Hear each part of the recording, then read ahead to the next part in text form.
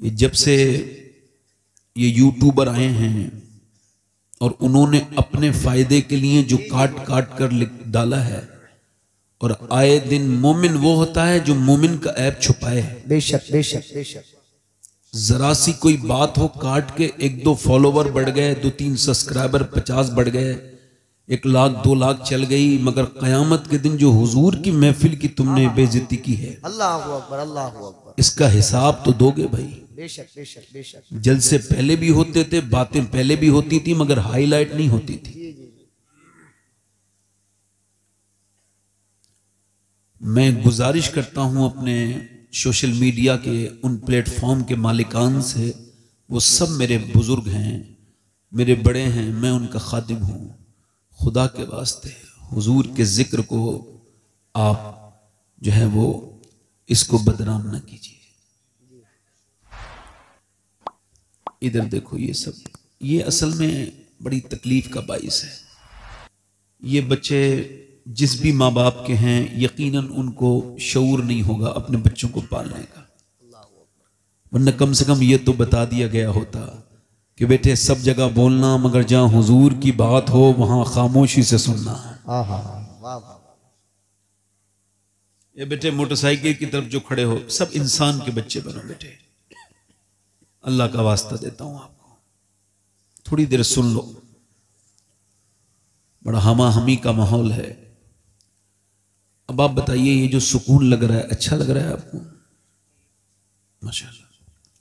अल्लाह आपको जजाता फरमाए। आमीन। मैं तो ये गुजारिश करूँगा जितने भी हमारे यूट्यूबर साहिबान हैं अल्लाह आपको सलामत रखे खुशियाँ दे। मैं आपका कोई आपकी बुराई नहीं करता, कोई आपका मुखालिफ नहीं। मगर खुदारा एहतियात कीजिए। चंद फॉलोवर और चंद ये चीज़ों के चक्कर में कोई ऐप देखो तो छुपा दो। कोई मिंबर रसूल पर फरिश्ते नहीं होते, इंसान होते हैं। और इंसानों से गलतियाँ हो ही जाती है। अल्लाह हम सबको माफ़ करे कहो आमीन। आमीन। बैठे आराम से। बहुत कसीर तादाद में आप लोग हैं। सर्दी में बहुत अच्छा लग रहा है मुझे। और निज़ामत माशाल्लाह बड़ी अच्छी इन्होंने की नाजिम रज़ा खलीली साहब ने। बहुत जल्दी जल्दी निज़ामत करते हैं। शायद डरते हैं आप लोग। इनके शेर हल्के हल्के समझेंगे नहीं। वैसे भी होता है कि महफिल में नाजिम के ऊपर बड़ी जल्दबाजी होती है। अल्लाह इन्हें सलामत रखे। मुझसे पहले आपने बड़ी अच्छी नात खानी और बड़ी अच्छी आवाज़ में हमारे जनाब फारूक रज़ा बरकाती दहलवी साहब को समाप्त किया। अल्लाह इनको भी जजाय खैर अता करे। आमीन या मेरे बाद भी मेरे साथ भी एक ना शरीफ पढ़ने के लिए हैं वो पढ़ेंगे।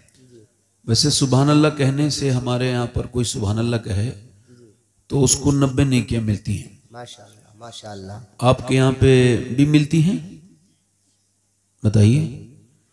हुजूर फरमाते हैं मोमिन नेकियों का हरीस है। अब हरीस को मैं आपके सामने अगर इसको आपके सामने एक्सप्लेन करूँ तो यही कहूँगा कि हरीस का मतलब है लालची। नेकियों का मोमिन क्या होता है बोलो? जल्दी बोलो क्या होता है? लालची।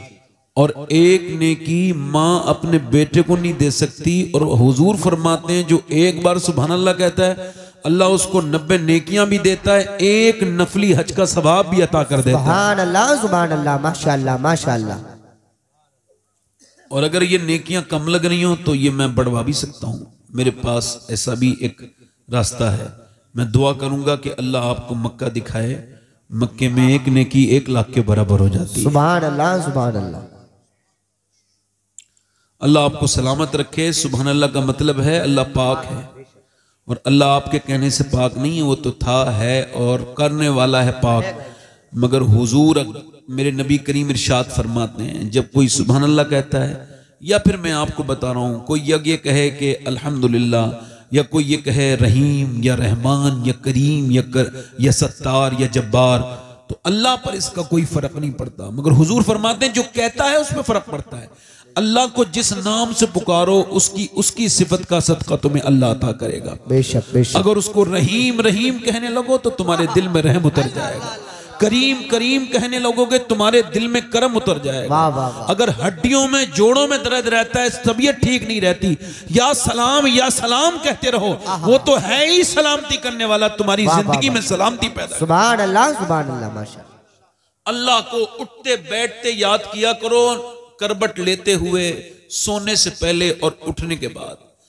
उसको याद करो जब रात में नींद खुले तो उसको याद करो। मेरी आज की पूरी तकरीर का उन्वान ही अल्लाह ही की तरफ़ है कि उसी के बारे में बात करनी मुझे।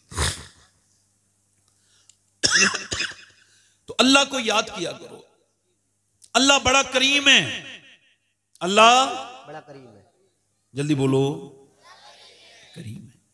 इतना करीम है वो यकीन जाने आप सत्तर माओ से ज़्यादा मेहरबान इसको सुना है, इसको समझा नहीं कभी। एक माँ होती है ना तो अपने बेटे का लाड़ नहीं उठाती। उठाती कि नहीं उठाती? माफ़ करती है कि नहीं करती है? इसका मतलब ये माँ जितनी देर में माफ़ करेगी, उससे सत्तर दर्जा जल्दी मेरा रब माफ़ कर देता है। सुबह अल्लाह सुबह अल्लाह। और ये दर्जे तो सिर्फ़ समझने के लिए हैं। वरना गौसुल आज़म फरमाते हैं ऐसा तो कोई पैमाना नहीं बना जो अल्लाह की रहमत को ना पा जाए। बेशक बेशक। आप लोग बैठ जाएँ। तो इंशाअल्लाह ताला अल्लाह ने चाहा तो तो मैं क्या कह रहा था? उठते बैठते ए भाई मोबाइल ए भाई। हम्म, बैठ जाओ बेटे बैठ जाओ। हम्म। अच्छा इस पे भी रिसर्च हो चुका है मोबाइल अब मोबाइल नहीं है। अब ये अपने आप में एक बीमारी है। इसमें यूरोप में इंग्लैंड में अब मुरा मोबाइल के मरीजों का इलाज एक अलग शोबा बन गया है। ये अब मोबाइल नहीं है। मोबाइल ले रहा अब ये एक बीमारी है। इस पर तजर्बा हो चुका है। मैं क्या अर्ज़ कर रहा था? तो उठते बैठते अल्लाह को याद करने का जहन बनाए। उठते बैठते चलते फिरते खाते पीते उसका नाम लें। उसका ज़िक्र करें। हुजूर अलैहिस्सलाम फरमाते हैं, हदीस कुदसी है, अल्लाह ने फरमाया कि कयामत के दिन एक बंदे को अल्लाह बख्शेगा। तो वो अर्ज़ करेगा, मालिक, तूने मुझे क्यों बख्श दिया? मैं तो बख्शिश के लायक इंसान नहीं। तो अर्ज़ करेगा, मालिक, मैंने तुझे कभी तेरा कहना नहीं माना। तेरी इतात नहीं की, तूने मुझे क्यों माफ़ कर दिया? अल्लाह अल्लाह फरमाएगा, ओ बंदे, तू भूल गया, मगर तेरा रब भूलने से पाक है। एक रात तू सोता था? सोते सोते तूने करबट ली और करबट लेते देते तूने कहा था या अल्लाह अल्लाह फरमाता है तुझको तो शऊर भी नहीं था तू बेखबर था मगर तेरी करबट मुझे इतनी प्यारी लगी कि मैंने उसी वक्त तुझे बख्श दिया था जब तू मुझे याद कर रहा था. माशाअल्लाह माशाअल्लाह माशाअल्लाह एक बुज़ुर्ग गुजरे हैं यहाँ तक कि उनकी मकबूलियत है कि मौलवी जकरिया देवंदी ने भी उनका ज़िक्र किया। उनका नाम है सैयद अहमद कबीर रफाई। ये नासिरिया में है बगदाद शरीफ से साढ़े तीन सौ किलोमीटर दूर। ये सिलसिला रफाइया के फाउंडर हैं। इनका हाल ये था कि ये बगदाद में बैठ के दरूद जब पढ़ते थे और जब हुजूर इन्हें जवाब देते थे तो ये बगदाद में सुन लिया करते थे। सुबहान अल्लाह सुबहान अल्लाह ज़ोर से तो बोलो यार जरा। सुबहान अल्लाह यानी दुरूद कहाँ बैठ के पढ़ रहे हैं? और हुजूर जवाब कहाँ से दे रहे हैं? और ये हुजूर के तकरीबन 600 साल विसाल के बाद की बात है। अब इसको बड़े उलमा ने लिखा है, गौस पाक भी इसके गवाह हैं। गौसुल आज़म उस वक्त थे। जब ये मदीने गए तो इन्होंने जाके वहाँ सलाम किया। वालेकुम जद्दी। यानी है मेरे जद्द करीम, मेरे दादा या मेरे नाना इतलाक इसी पर होता है। आप पर सलाम हो तो मेरे नबी पाक सल्लल्लाहु अलैहि वसल्लम का जवाब आया, वालेकुम अस्सलाम वलदी। तो उन्होंने कहा नाना आवाज़ तो मैं घर भी सुन लेता था। आज तो मुसाफा करना चाहता हूँ। वाह वाह वाह। तो लिखा है गौसुल आज़म भी गवाह। हज़ारों लोग इसके गवाह कि हुजूर ने अपनी तुरबत के बाहर को अपने दोनों हाथ किए और इनसे मेरे नबी ने मुसाफा किया। माशाअल्लाह माशाअल्लाह क्या किया बोलो? मुसाफा किया। मेरा इमाम कहता है तू ज़िंदा है वल्ला वाह वाह वाह वाह। तू ज़िंदा है वल्ला मेरे चश्मे आलम से छुप जाने वाले। तो इन्हें मुसाफा हुआ इनसे पूछा ये अब ये खास जो बात बता रहा हूँ सुन लें इनसे पूछा ये आपको कैसे सादत मिली कि हुजूर ने आपसे मुसाफा किया? तो उन्होंने कहा मैंने अपनी ज़िंदगी में किसी को हकीर नहीं समझा। समझ रहे हो भाई? इधर समझो। क्या नहीं समझा बोलो? किसी को भी हकीम नहीं समझा। मतलब अपने आप से नीचा। गिरा हुआ। इकबाल कहता है देखा नहीं किसी को हिकारत की नज़र से। अल्लाह अल्लाह अल्लाह। मुझसे मेरी निगाह की कीमत न पूछिए। वो कहते हैं मैं एक बारी जा रहा था तो बीच में एक रास्ता बचा हुआ था दोनों तरफ़ पानी था। आपने देखा होगा जब खेत में पानी हो जाता है तो डोल जो सूखी होती है डोली कहते हैं कहते हैं उस पर गुजर रहा था तो सामने से मैंने देखा कि कुत्ता आ रहा है असर का नमाज़ का वक्त था। कीचड़ में मुझे या तो कुत्ता नीचे उतरता या मैं नीचे उतरता। और अगर मैं नीचे उतरता तो मेरी नमाज़ का वक्त था कपड़े खराब होने थे तो मैंने दुआ की या अल्लाह इस कुत्ते को जबान दे दे तू तो कुदरत रखता है। तो अल्लाह ने उसे इंसानों वाली जबान दे दी। मैंने कुत्ते से कहा भाई तेरे ऊपर तो कोई नमाज़ फ़र्ज़ नहीं। मैंने नमाज़ पढ़नी है तुझे तो पढ़नी नहीं। तो तू ऐसा करके तू इस कीचड़ में गुजर जा, इसमें गुजर जा और मुझे, मेरे लिए रास्ता साफ़ कर दे ताकि मैं असर की नमाज़ पढ़ सकूँ। कहते हैं सैयद अहमद कबीर रिफाई कि उसने जो जवाब दिया, मुझे ऐसा जवाब कि मुझ पर अचानक गशी तारी हो गई। उसने मुझसे कहा, ओ अहमद कबीर, बेहतर है कि तू ही नीचे उतर जा। अगर तू नीचे उतरा तो एक दो बाल्टी से तेरा जिस्म धुल जाएगा और तू पाक हो जाएगा। और अगर मैं नीचे उतरा और तेरे दिल में यह ख्याल आ गया कि ये कुत्ता था तो नीचे उतर गया और तूने अपने आप को बड़ा जान लिया तो इस गंदगी को सात समंदर भी साफ़ नहीं कर सकते हैं। वाह वाह वाह वाह वाह वाह कहते हैं ये लफ्ज सुने थे मुझ पर अचानक अजीब कैफियत तारी हो गई। मैं वहाँ से निकला और निकलने के बाद मैंने फिर अपने एकदम उस कीचड़ में गुजरा अपने कपड़े जाके धोए और मैंने इससे पहले भी नमाज़ असर पढ़ी थी मगर इतना मज़ा मुझे असर की नमाज़ में कभी नहीं आया जितना उस दिन आया था वो वाक़े के बाद। सुभान अल्लाह सुभान जितने भी दुनिया में झगड़े हैं उसका एक ही मतलब है तकब्बुर। और अल्लाह का शुक्र मेरा आज तक किसी से झगड़ा नहीं हुआ आज तक। मैं समझता हूँ कि झगड़ा बेवकूफों का काम है जहलों का काम है। तवज्जो है? अब तो मसला बड़ा खराब है, कोई किसी को इज़्ज़त ना दे तो वो नाराज़ हो जाता है। है ना? इधर देखें, तवज्जो करें। आजकल मसला जरा दूसरा है। मेरे दोस्तों, मेरे भाइयों, गरीब मर जाए ना तो उसकी नमाज़ जनाजा में लोग शिरकत नहीं करते बड़ी सुनसान होती है उसकी नमाज़ जनाजा। मगर अमीर के इंतकाल पर, अल्लाह अकबर, उसको छींक आ जाए तो भीड़ लग जाती। मेरे नबी फरमाते हैं मेरा मेरा उम्मती बीमार हो जाए और दूसरा उम्मती से देखने जाए। फरमाते हैं जब तक उसको देख के उसका मिजाज पूछ के वापस नहीं आता ना अल्लाह के सत्तर हज़ार फरिश्ते उसके लिए दुआएँ मगफिरत करते रहते हैं। सुबह अल्लाह सुबह अल्लाह हज़रत मौला अली फरमाते हैं तवज्जो करो। तकब्बुर का चेक करने का आला बता रहा हूँ। काहे का? तकब्बुर चेक काहे का? कोई इसका चेकअप भी होना चाहिए ना? जी तो आप सुनिए। फरमाते मौला अली से पूछा किसी ने, हुजूर, ये कैसे चेक करें कि दिल में घमंड है कि नहीं? गुरूर है कि नहीं? तकब्बुर। तो आपने फरमाया, जब तू अमीर से मिले और गरीब से मिले तो दोनों को बराबर इज़्ज़त दे तो तेरे अंदर घमंड नहीं है। और अगर अमीर को ज़्यादा इज़्ज़त दे, गरीब को नजरअंदाज कर दे तो फिर तेरे अंदर घमंड है। वाह वाह वाह वाह, बहुत अच्छी अलामत। तो जरा मुझे बताइए ये बुरी चीज़ तो नहीं पालेंगे ना इंशाल्लाह इंशाल्लाह? हुजूर फरमाते हैं जिसने पहले सलाम कर दिया जिसने पहले वो तकबर से बरी है जरा ज़ोर से बोलो सुभान अल्लाह अल्लाह अच्छा ये कैमराज वाले जो आगे बैठे हैं मैंने आपसे कुछ नहीं कहना है बड़े खतरनाक लोग हैं। मगर यह है कि आपसे बड़ा डर लगने लगा है भाई लोग आप किसकी इज़्ज़त किस वक्त खराब कर दो कुछ नहीं पता। किसको जलील कर दो किसको जलील करके फेंक दो एक तरफ़। किसकी आप पूरी ज़िंदगी की मेहनत खत्म कर दो? कुछ नहीं पता। अल्लाह आपसे डर लगता है। मगर यह है कि आप कैमरे के वाले के साथ साथ मुसलमान भी होंगे तो आपको सुबह अल्लाह भी कहना चाहिए। आहा आहा है ना? अगर आप आ, सामने बैठ के देखे मेरे भाई इस तरह का करेंगे तो महफिल थोड़ा सा इसमें जो है ना वो रेपो बेल्ट जो है ना वो डैमेज हो जाएगा। मेरा जो सिस्टम है तो आप जरा सुबह अल्लाह कहते रहेंगे तो लगेगा कि पीछे से लेके आगे तक मैं सारे मुसलमानों में तकरीर कर रहा हूँ। जरा ज़ोर से बोले जरा। सुबह हाँ, बहुत अच्छा मजमा है। एक मरतबा दोनों हाथ उठा के बोलो लब्बई या रसूल अल्लाह लब्बाइक या रसूल अल्लाह ये हमारे जितने उलमा बैठे हैं मैं आप सबका खादिम हूँ।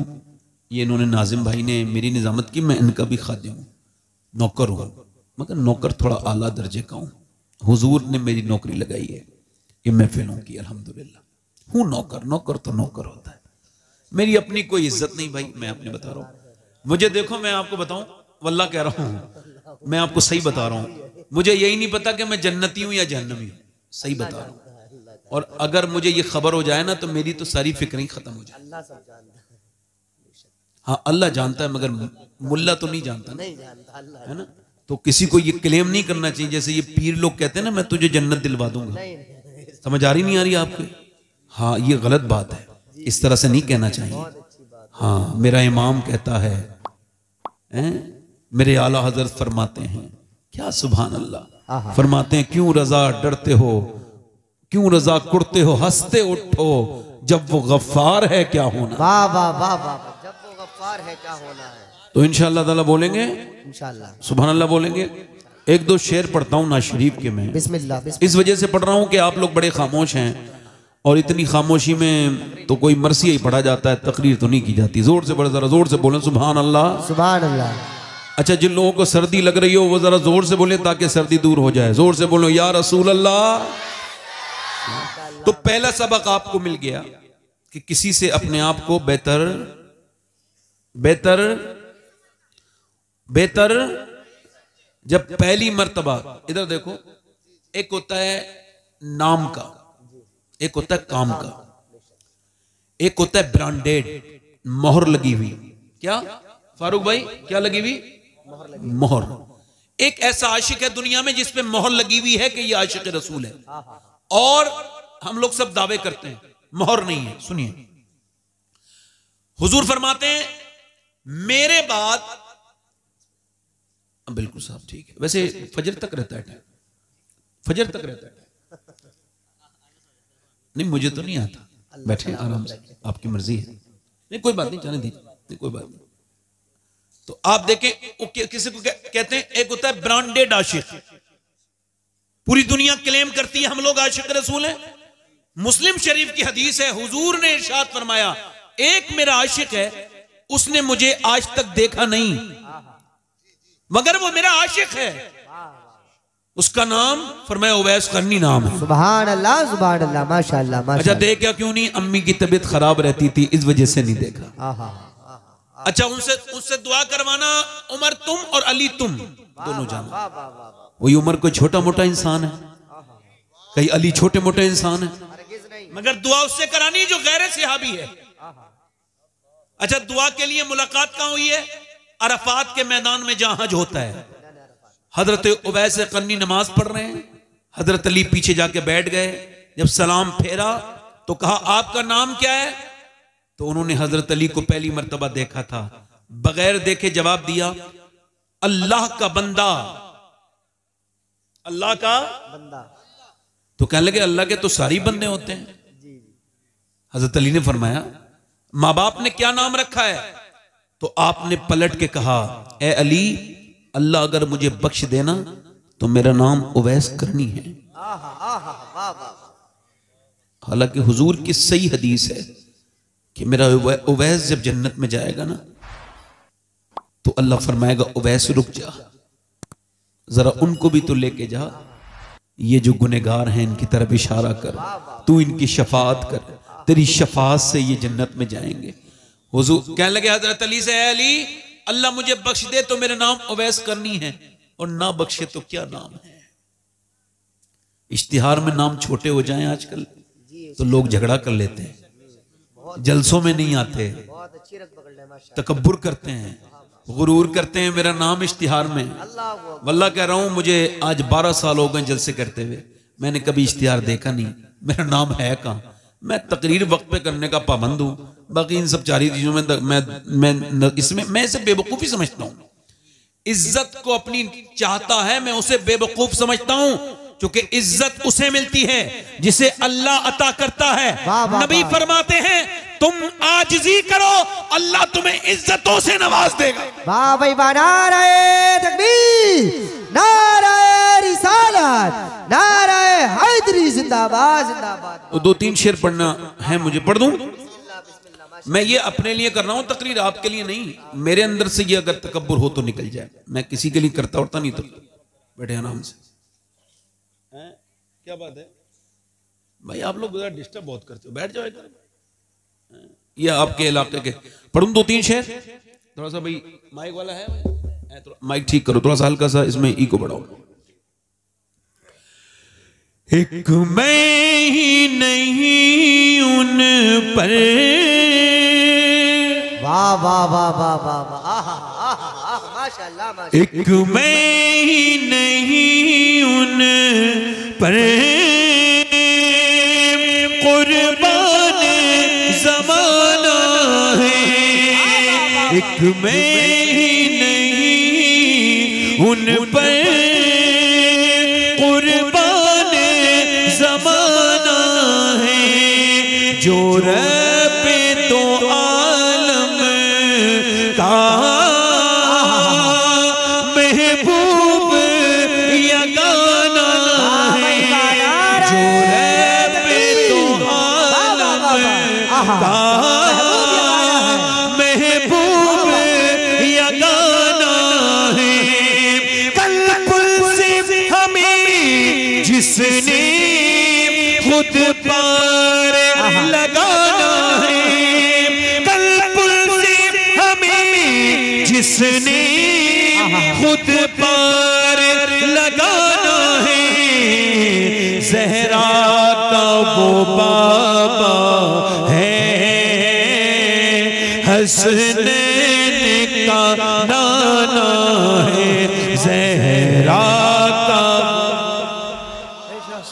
बाबा सुभान पढ़ो जरा जहरा का वो बाबा है।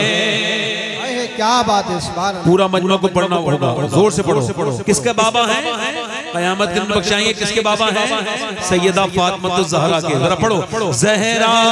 का वो बाबा है। हसनैन का नाना है। जहरा वो बाबा है। हसनैन का नाना है। और दो दरवाजों से साहिल कभी कभी खाली नहीं आया। एक दरवाज़ा मेरे हुजूर का है दूसरा दरवाज़ा हुजूर की बेटी सैयदा फातिमा का है। दो दरवाजों से कभी साहिल खाली खाली नहीं आया। शेर समाप्त करें। पुल से हमें जिसने खुद पार लगाना है। जहरा का वो बाबा। बेशक पढ़ो जहरा का वो बाबा है। हसनैन का। बेशक सुभान अल्लाह। पढ़ो हसनैन का। नाना। आखिरी शेर पढ़ देता हूँ आप लोग बहुत ज़्यादा तादाद में आ रहे हो। मुझे पसंद नहीं है आखिरी शेर शेर मेरे साथ पढ़ो जरा। जहरा का बाबा। आवाज़ें नहीं है क्या? बढ़ो जरा। जहरा का वो बाबा।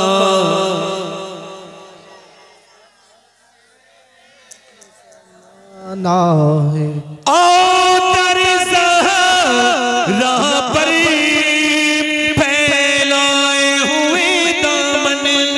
बेशक सुभान अल्लाह सुभान अल्लाह जिंदाबाद पर फैलाए हुए दामन है नस्ल करीमों की। लजपाल घराना सुभान बाबा सुभान अल्लाह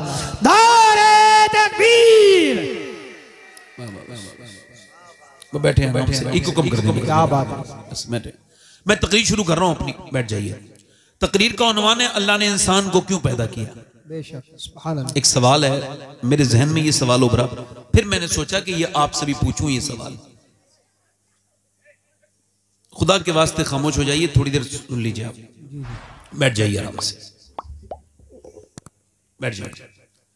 अल्लाह ने इंसान को भाई सवाल है कि नहीं? इंसान को अल्लाह ने इंसान ने अपने लिए मोटर बाइक बनाई एक काम के लिए है। इंसान ने अपने लिए स्कूटर बनाया कार बनाई वॉशिंग मशीन बनाई फ्रिज बनाया जितनी भी चीज़ें इंसान ने इंसान के लिए ईजाद की बनाई उसको वजूद में लाए वो सब काम की हैं। तो क्या अल्लाह ने इंसान जैसी हसीन चीज़ क्या बात? बगैर किसी मकसद के पैदा की? नहीं ना? नहीं ना? अल्लाह ने क्यों पैदा किया? इंसान अगर इसको नहीं समझेगा तो वो बर्बाद हो जाएगा। वो क्या समझता है? खाने के लिए सिर्फ़ जानवर बहुत थे, पीने के लिए सिर्फ़ जानवर बहुत थे, सोने के लिए सिर्फ़ जानवर बहुत थे। इंसान को क्यों पैदा किया? जरा गौर करें, तवज्जो करें। इमाम मालिक फरमाते हैं, इंसान एक बार नहीं दो बार पैदा होता है। एक बार तो माँ के पेट से पैदा होता है एक बार तब पैदा होता है जब उसको यह खबर हो जाए कि अल्लाह ने उसको क्यों दुनिया में पैदा किया है। बेशक सुभान अल्लाह वो खुद फरमाता है हला इंसानी मस्कूरा इंसान पे ऐसा वक्त गुजरा है कि वो कोई काबिल ज़िक्र शई न था। क्या अल्लाह ने अपनी मेहरबानी से अपने कर्म से इंसान को इंसान बनाया। और इंसान दुनिया में आया, किस लिए? इसका जवाब कोई दानिश्वर नहीं देगा कोई साइंसदान नहीं देगा कोई बड़ा प्रोफेसर नहीं देगा। इसका जवाब वो कैसे देगा? उसको क्या पता? उसको क्या पता? क्या खबर? इस इसके खालिक ने इंसान के इंसान को क्यों बनाया? वो नहीं बताएगा। इसको खुद अल्लाह ने बताया। अल्लाह फरमाता है मैंने इंसान को आजमाइश के लिए पैदा किया। अपनी इबादत के लिए पैदा किया। अच्छा आप लोगों को मेरे टाइप की तकलीफ़ सुनने की आदत नहीं होगी। मैं आपको सही बता रहा हूँ। आप खामोशी से सुने, अगर सुबह अल्लाह भी नहीं कहेंगे, तब भी कोई मसला नहीं आप खामोशी से सुने। बोले ना बस। बोले ना इंसान को अल्लाह ने क्यों पैदा किया? वो कहता है, आजमाइश के लिए। मर्दों को, औरतों को, इंसान को अल्लाह ने अपनी इबादत आजमाइश के लिए, यानी सुबह आजमाइश है। रात आजमाइश है। फॉर एग्ज़ाम्पल सुबह के वक्त में बंदा सो रहा है, मिसाल के तौर पर, सख्त नींद आ रही है, और लिहाफ ने बड़ी अच्छी गरमाई दे रखी है, और फजर की अजान हो रही है। फजर की अजान ने नौजवान की आँख को खोल दिया, आँख ज़रूर खुल गई, मगर अब झगड़ा शुरू हो गया, नफ्स में और इंसान में, नफ्स में और ईमान में। नफ्स कह रहा है अभी सो जा, सर्दी बड़ी है, बाहर निकलेगा, तुझे ज़्यादा सर्दी लग जाएगी, बाहर निकलेगा, ठंडा पानी है, ना निकल बाहर को ना जा अगर बाहर निकलेगा तो तुझको ठंड लग जाएगी। ईमान कह रहा है, नहीं नहीं, रुक जा, ठहर जा, नमाज़ पढ़, यहाँ नहीं रुक, एकदम लिहाफ फेंक दे। क्योंकि नमाज़ अगर एक बार कजा हो गई तो दूसरी बार नहीं मिलेगी। अब नफ्स उसका कह रहा है, हुजूर अलैहिस्सलाम फरमाते हैं, अल्लाह फरमाता है, हदीस कुस्सी है, मैंने इंसान को पैदा किया तो उसके साथ अपने दुश्मन नफ्स को भी पैदा किया। अब ये मेरा नफ्स जो इज़्ज़त चाहता है, ये मेरा नफ्स जो बहुत अच्छे खाने खाना चाहता है, ये मेरा नफ्स जो बहुत नींद चाहता है, ये मेरा नफ्स मेरा भी दुश्मन है, मेरे रब का भी दुश्मन है। अब ये कह रहा है, सो जा। ईमान कह रहा है, नहीं। नफ्स कह रहा है, सो जा। ईमान कह रहा है, नहीं। ईमान ने लिहाफ फेंक दिया। लिहाफ फेंकने के बाद ईमान ने ठंडे पानी में हाथ डाल दिए और उसके बाद ईमान इसे ले गया मस्जिद तक और ले जाके उसने सजदा करवाया जैसे इसने अपना सर ज़मीन में रखा नाक अपनी रगड़ी ज़मीन में जाके वैसे ही फरिश्तों ने ऐलान कर दिया आज फला बंदा अपने अल्लाह की बारगाह में कामयाब हो गया है। इसने नफ्स पर फतह पा ली। बेशक। दारे तकबीर। इसने नफ्स पर नफ्स पर आप ले लो माइक। नफ्स पर फतह पा ली है। नफ्स पर फतह हो गया। फतेह पाली। ये कामयाब हो गया। अब वही लड़का घर से निकला। नमाज़ पढ़ के निकला, घर आया और उसने आकर के नाश्ता किया। अब वो जा रहा है शहर। अब वो जा रहा है कहीं काम करने। एक लड़की सामने नज़र आई। उसके कपड़े बड़े खराब हैं। फिटिंग के कपड़े हैं। बेहुदा, बेगैरत, बेशरम, बेहया लड़की है। कोई मॉडर्न है। उसने अपने जिसम पे टाइट लिबास पहन रखा है। इस लड़के की एक नज़र पड़ी, मगर चूँकि एक नज़र माफ़ है, इसने नज़र झुका ली। अब इसका दिल कह रहा है, इसका ईमान, इसका नफ्स कह रहा है, देख ले। ईमान कह रहा है, ना देख। नफ्स कह रहा है, देख ले। बड़ा खूबसूरत नज़ारा है, स्मार्ट लड़की है। देख ले, एक मरतबा और देख ले। इसने कहा, नहीं देखूँगा। मेरे नबी की हदीस है कि, मेरे नबी की हदीस है कि आँखों का भी जिना होता है। आँखों का भी जिना होता है। और ये आँखें जो नौजवान तेरे अंदर हैं। ये जो आँखें, ये जो आप समझते हो आपकी आँखें, नहीं नहीं, ये सब अल्लाह की हैं। ये आँखें कयामत के दिन हमारे खिलाफ गवाही देंगी। जो भी हम करते हैं। अगर इन्होंने कह दिया अल्लाह, तूने दिया तो था माँ बाप का चेहरा देखने के लिए, काबा देखने के लिए, अपने महबूब का मुबारक रोजा देखने के लिए, मगर इसने तो गंदगी देखी। आप क्या समझते हो? आप क्या समझते हो? ये सब कहने सुनने वाली बातें आपके लिए हो सकती हैं, मेरे लिए नहीं है। जैसे सूरज और चाँद की रोशनी, मुझे उतना यकीन है। ऐसे ही मुझे अपने नबी की बात पर यकीन है। हक है मुझे, जो मेरे नबी ने कह दिया, वो होकर रहेगा। इसमें शक करने वाला मुसलमान ही नहीं। मेरे नबी ने फरमाया कि ये मेरे आका फरमाते हैं, जो बदनिगाही करेगा, उसकी आँख में आँख की सलाखें डालेगा अल्लाह आँख की सलाखें डालेगा। अब आप मुझे बताएँ, आप मुझे बताएँ, जरा गौर करें। वो कह लेगा नहीं देखूँगा। नफ्स कह रहा है, देख ले। ईमान कह रहा है, नहीं देख। ईमान कह रहा है, देख लिया तो जिना हो जाएगा। लड़की सामने से निकल के चली गई, इसने नहीं देखा, बल्कि आला हज़रत का ये शेर गुनगुनाता रहा, या इलाही रंग लाए जब मेरी बेबाकियाँ उनकी नीची नीची नज़रों की हया का साथ हो। लड़की निकल गई मगर फरिश्तों ने ऐलान कर दिया कि आज ये नौजवान मदीने वाले का आशिक अपने नफ्स पर आज फिर इसने फतह पा ली और ये नफ्स से गुमराह नहीं हुआ। वाह वाह नारे तकबीर नारे रिसालत नारे अपने गुमराह। जिंदाबाद ये गुमराह। नहीं हुआ। मगर नौजवान ने ये तो सब भूलना ही छोड़ दिया। अब तो कौन किसके दिल में ये ख्याल आता है कि लड़की को देखना बुरी बात है? तीन तीन घंटे चार चार घंटे पाँच पाँच घंटे, बल्कि छः छः घंटे स्क्रीन टाइम है नौजवानों की। छोटे छोटे बच्चे जो आपके मोबाइल देख रहे हैं, ये छोटे छोटे बच्चे जो बर्बादी की तरफ़ जा रहे हैं, कभी आपने इसके बारे में गौर किया? कभी सोचा आपने ये बच्चे आपके कहाँ चले गए? कभी गौर किया आपने कि ये जहन्नम में कैसे चले जाते, चले जा रहे हैं? और आपने इन पर गौर नहीं किया कभी? ये नौजवान लड़के जरा गौर करें, आप आप पैसा कमाने में लगे रहे सिर्फ़। दौलतें जमा करने में लगे। मौलाए कायनात फरमाते हैं, ए भाई, खामोश हो जाओ भाई। बात ना करो बेटे, हाथ जोड़ रहा हूँ आपसे। तकलीफ़ करने दो मुझे। मैं खुद इधर से बचता हूँ बहुत, इन इलाकों से। देखो आप ये तमीज तुम्हें ज़्यादा होना चाहिए, तुम मुरादाबाद के करीब में रहते हो। सईदना नईमुद्दीन मुरादाबादी का फैज होना चाहिए आपके पास। बैठ जाओ भाई। इंसान को यह लगता है कि ये तकरीरें सब मज़ाक है। लोगों को ये लगता है ये जलसा भी ऐसे ही एक जलसा है, बस खाली। इसका हिसाब सबसे पहले उसे देना होगा जो यहाँ तकरीर कर रहा है। उसके बाद वो सब सुनने वाले, बैठने वाले सब हिसाब देंगे। मोमिन वो होता है जो हुजूर की बातों को दिल से माने। वो काय का मोमिन है जो हुजूर की बातें सिर्फ़ करता है और सुनता है, उसको मज़ा तो कोई नहीं, उसको दिल पे उस असर तो को खुद ही कोई नहीं है। मर जाएगा तो समझेगा कि हुजूर की बात ठीक ही थी। अब समझो करो, मेरी तरफ़ गौर करो। हज़रत अली फरमाते हैं, दुनिया ठहरने की जगह नहीं है। दुनिया गुजरगाह है। सिर्फ़ गुजरगाह। फरमाते हैं, ठहरने का मकाम आखिरत है। ठहरने का मकाम आखिरत है। मौलाए कायनात फरमाते हैं, दुनिया आजमाइश है। इसको आजमाइश ही समझो तो फिर आजमाइश नहीं होगी। और अगर इसे आजमाइश समझना बंद कर दिया तो फिर रोज आजमाइश होगी। यानी ये दौलत, ये बैंकों में जमा किए हुए पैसे,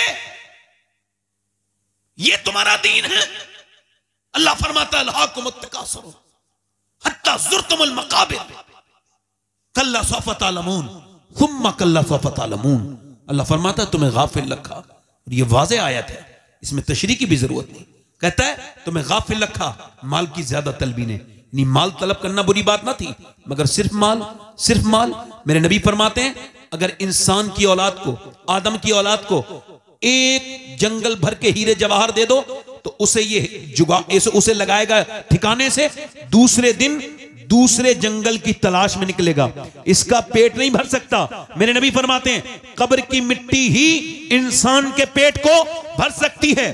कब्र की मिट्टी ही इंसान के पेट को भर सकती है। यानी इंसान का पेट भरेगा नहीं। अब तवज्जो करो, मेरी तरफ़ गौर करते चले, जाना जरा आप हजरात। जरा गौर करें, अल्लाह फरमाता है, तुम्हें गाफिल रखा, माल की ज़्यादा तिलवी ने हत्ता तुमल मकाबिर, यहाँ तक कि तुमने कब्रों के मुँह देख लिए। फिर वो कहता है, कल्ला सोफा तालमून। फिर वो फरमाता है, सुम्मा कल्ला सोफा तालमून। एक ही बात को दो बार कहता है, मगर दूसरी बार सुम्मा लगाता है। और सुम्मा का मतलब अरबी में फिर, यानी ये मैं तुझे कह रहा हूँ, मैं आपको समझा रहा हूँ, फिर समझा रहा हूँ। यानी अल्लाह का लहजा सख्त है। वो कहता है, सुम्मा कल्ला सोफा तालमून। फिर हाँ हाँ तुम जान जाओगे, फिर हाँ हाँ तुम जान जाओगे। पहले कहता है हाँ हाँ तुम जान जाओगे, फिर कहता है, फिर हाँ हाँ तुम जान जाओगे। यानी ये जो दौलत है, ये जो इसकी तशरी में मौला अली फरमाते हैं कि ये जब इंसान मरता है, और मरने के बाद जब उसका, उसकी रूह निकल जाती है और जब वो मर जाता है तो फरिश्ते आते हैं और इंसान भी आते हैं। तो उसके रिश्तेदार कहते हैं, इसने बच्चों के लिए क्या छोड़ा? इसने अपने बच्चों के लिए क्या छोड़ा? तो फरिश्ते कहते हैं, इसने आखरत के लिए क्या भेजा? इसने आखरत के लिए, इसने आखरत के लिए, यानी हुजूर ने एक बकरी को कुर्बान करके सदका कर दिया। जब सदका किया तो घर तशरीफ़ लाए। पर मैं मेरी आयशा, ये बताओ क्या बचा है गोश्त? कुर्बानी में जो हमने की सदका किया उसमें क्या बचा? तो उन्होंने तीन चार बोटियाँ दिखाई प्याली में रखे हुजूर ये बचा है। पर मैं आयशा ये नहीं बचा। बचा वो है जो अल्लाह की राह में खर्च हो गया। बेशक बेशक बेशक। बचा वो है जो अल्लाह की राह में खर्च हो गया है। अब ये ज़िंदगी इस तरह तो नहीं थी, मियाँ, जिस तरह हमने गुजारी। हमने अपने रब को नाराज़ कर दिया, हम अपने रब को नाराज़ करते चले गए पड़ोसी मुल्क में। एक लड़का था, गाना गाता था, मशहूर हो गया। 16 साल की उम्र में गाना गाते गाते मशहूर हो गया। 16 साल की उम्र में एक मर्सडीज जीती और एक मर्सडीज जीती, फिर दूसरी मर्सडीज, यानी उसने एक करोड़ की कार खरीद जीती। उसके बाद उसने बहुत जीता, बहुत गाने गाए, बहुत कामयाब हुआ। बेहतरीन सुरीली आवाज़, खूबसूरत चेहरा, नौजवान लड़का गाना गाते गाते फ़ेमस हो गया, उसने वर्ल्ड टूर किया। यानी पूरी दुनिया में गाना गाने के लिए बुलाया गया और वहाँ पर उसने धर्म में, यूरो में, डॉलर में पैसे कमाया। इतना पैसा हो गया कि एक शहर में एक बंगला बनाया, दूसरे में दूसरा बंगला बनाया।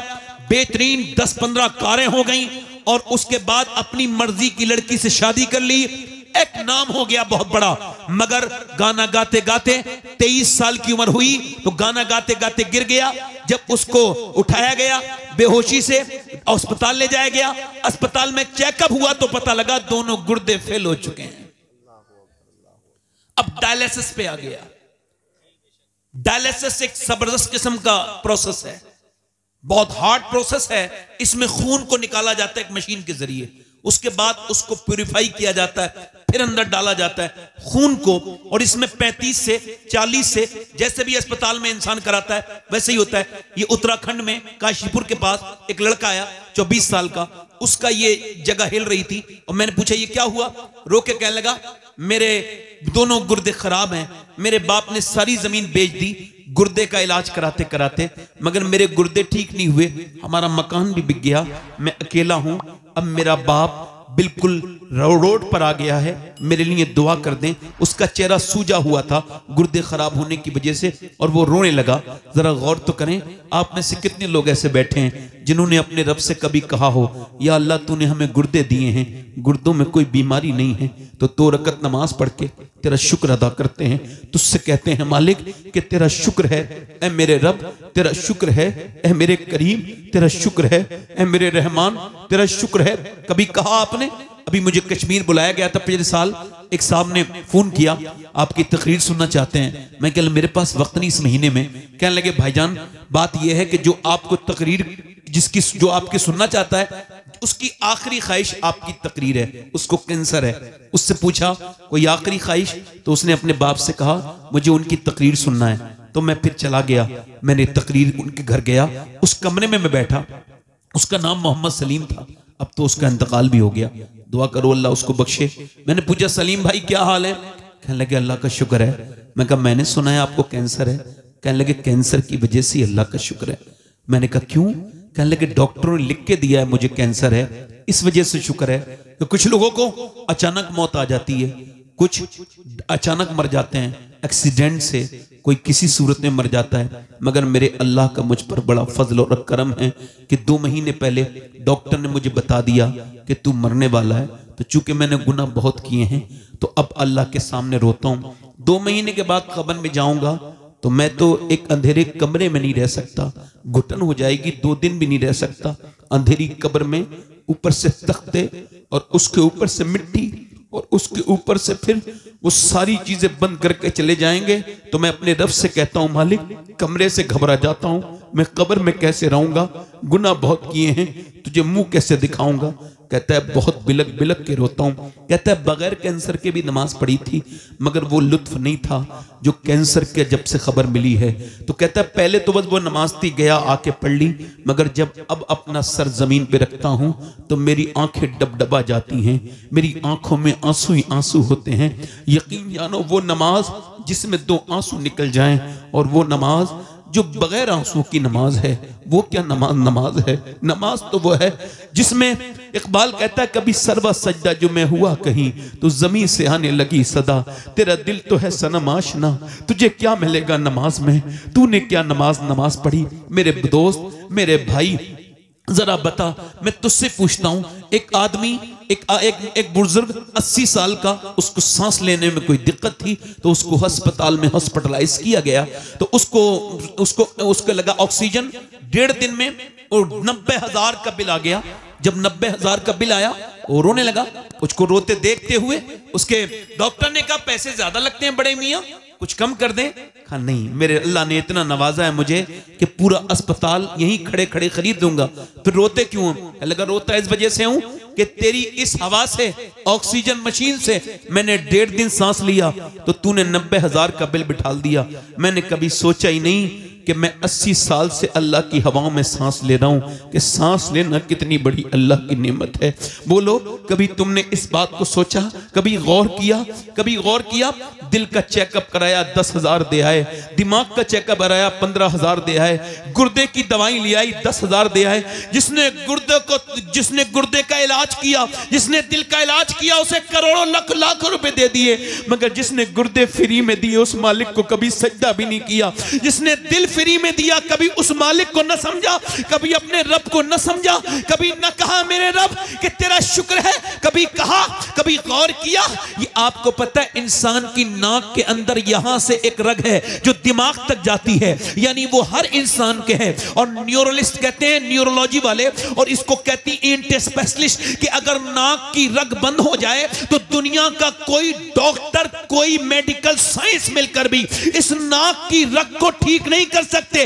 और अगर ये बंद हो जाए तो ना खुशबू आएगी ना बदबू ना खाने की खुशबू ना खाने की न का, किसी चीज़ की बदबू न फूलों की खुशबू आएगी। मुझे बताओ ये पूरा मेडिकल साइंस मिलकर एक रग नहीं बना सकता।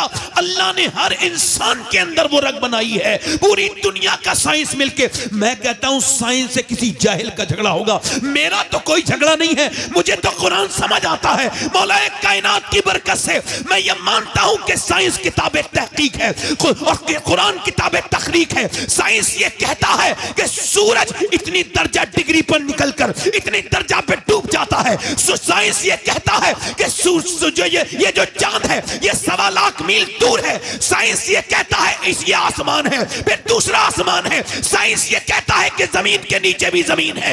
मगर साइंस ये नहीं कहता कि ज़मीन मैंने बनाई है, आसमान मैंने बनाया है, सूरज मैंने बनाया है, चाँद मैंने बनाया है। लोगों ने खुदाई के दावे भी किए कि मैं खुदा हूँ, मगर किसी ने नहीं कहा, ज़मीन मैंने बनाई, आसमान मैंने बनाया, सूरज मैंने बनाया, चाँद मैंने बनाया। वो मेरा रब है। जो अकेला कहता है ज़मीन भी मैंने बनाई है आसमान भी मैंने बनाया।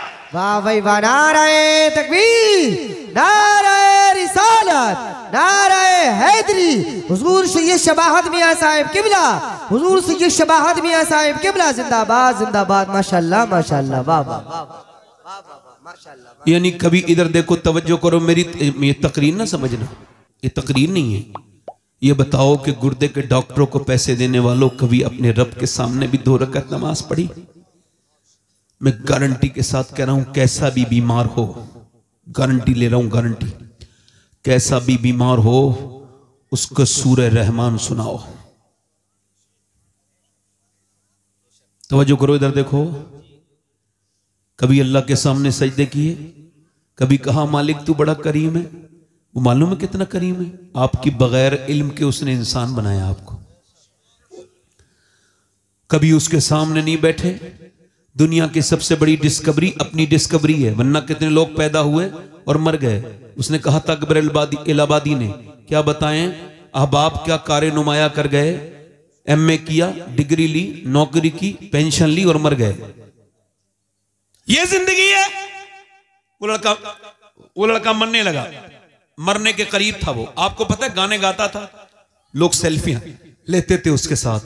मगर आज जब मौत करीब है, कोई पूछने वाला नहीं, कोई इलाज करवाने वाला नहीं, सारा कुछ खत्म हो गया। भाई ने गुर्दा दिया, वो भी फेल हो गया, चेहरा काला हो गया।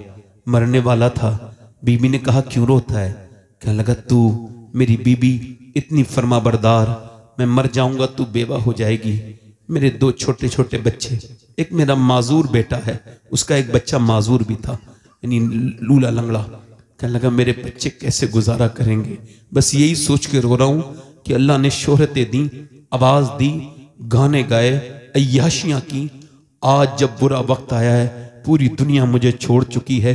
सोचता हूँ सोचता हूँ कि आज बुरा वक्त आया है, पूरी दुनिया ने छोड़ दिया अल्लाह ने आवाज़ दी तो मैंने गाने गाए। और जिन्हें गाने सुनाए, उन्होंने मुझे छोड़ दिया। सोच रहा हूँ, जितने गाने गाए, अगर इतनी नाते पड़ी होती तो मदीने वाले ने मुझे नहीं छोड़ा होता। मदीने वाले ने मुझे मदीने वाले ने मुझे मदीने वाले ने मुझे नहीं छोड़ा होता, मेरे दोस्त कभी बैठ जा। इधर देख तवज्जो कर, मेरी तकरीर को मेरा भाई, आप तकरीर ना समझना, एक मशवरा समझ लेना मौत से पहले का। एक लड़के का एक्सीडेंट हुआ ना तो कानों में उसके लीड लगी थी, गाना सुन रहा था तो गिर गया। उसका ट्रक उसके ऊपर चढ़ा, उसका भेजा रोड पर रह गया। लोगों ने उठा के पन्नी की थैली में उसका भेजा रखा। पूरी नाक वाक सब खत्म हो गई थी, सिर्फ़ उसका धड़ रह गया था, ट्रक ने कुचल दिया था। होता है ऐसा, एक्सीडेंट नहीं होता है। अब जब हो गया तो उसको उसको देखा कि उसके मोबाइल में वो गाना चल रहा था जो सुनते सुनते वो मरा है। था भी मुसलमान। अच्छा मुझे बताइए आप कि जो जिस हाल में मरेगा, उस हाल में ही उठाया जाएगा। क्या नौजवानों, तुमने मरते भी नहीं देखे नौजवान? क्या तुमने तोबा करने का वक्त जाया करना चाहते हो? क्या समझते हो मेरे दोस्तों? अल्लाह ने तुम्हें ये सात सात घंटे मोबाइल देखने के लिए दिए। यूट्यूब के दिए दिए इंस्टाग्राम के लिए दिए, चौराहे पे बैठ के बदतमीजियाँ करने के लिए ज़िंदगी दी है। एक दूसरे की बुराइयाँ करने की कीमत करने के लिए ज़िंदगी दी है। नहीं नहीं, बरेली से मेरे ताजु शरिया की आवाज़ आ रही है। ज़िंदगी ये नहीं है सभी के लिए, ज़िंदगी है नबी की नबी के लिए। ना समझ मरते हैं ज़िंदगी के लिए, जीना मरना है सब कुछ नबी के लिए। ये तो पोते ने सौ साल के बाद कहा था, इससे बड़ी बात दादा ने सौ साल पहले कही। पोते ने कहा था, ज़िंदगी है नबी के नबी के लिए।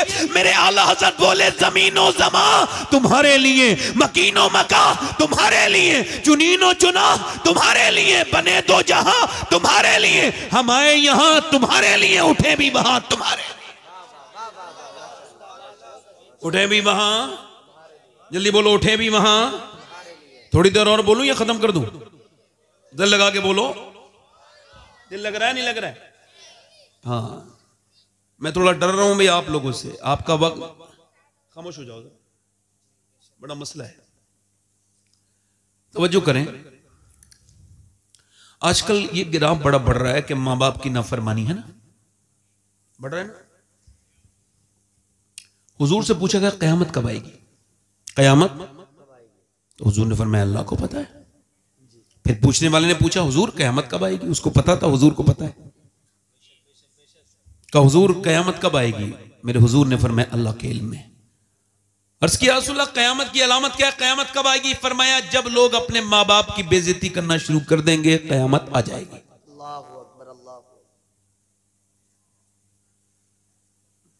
देखो ये जो इधर बैठे ना इधर दस पंद्रह लड़के इनसे हाथ जोड़ के इनके पाँव पकड़ के अंदर ले आओ। ये बड़ा तकलीफ़ के मैं आपको कह रहा हूँ ना बड़ा अजीब माहौल है। माहौल अलग है इस इलाके का। यहाँ तकलीफ़ नहीं सुनते लोग। जलसा देखने आते हैं कैसा लग रहा है जलसा? बेटे, आप भी बैठ जाओ। बड़ी मेहरबानी है आपकी। बड़ी मोहब्बत से मैं बात करता हूँ भाई।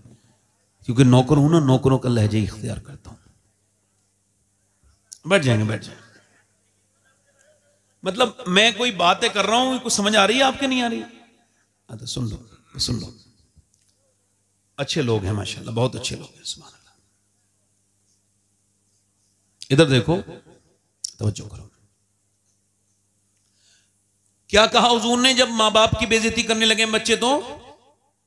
कयामत? जब माँ बाप की बेजती इस पर कयामत डिपेंड हो गई। अभी ये चंडीगढ़ में, पंजाब में एक लेक्चरार की शिकायत पुलिस में दर्ज हुई कि भाई वो अपनी माँ को मारता है तो उन्होंने कहा हमको प्रूफ चाहिए। तो उन्होंने एक खुफिया कैमरा लगाया तो उसमें उन्होंने एक रिकॉर्डिंग की कि वो 80 साल की अपनी माँ को लेक्चरार थप्पड़ मार रहा है।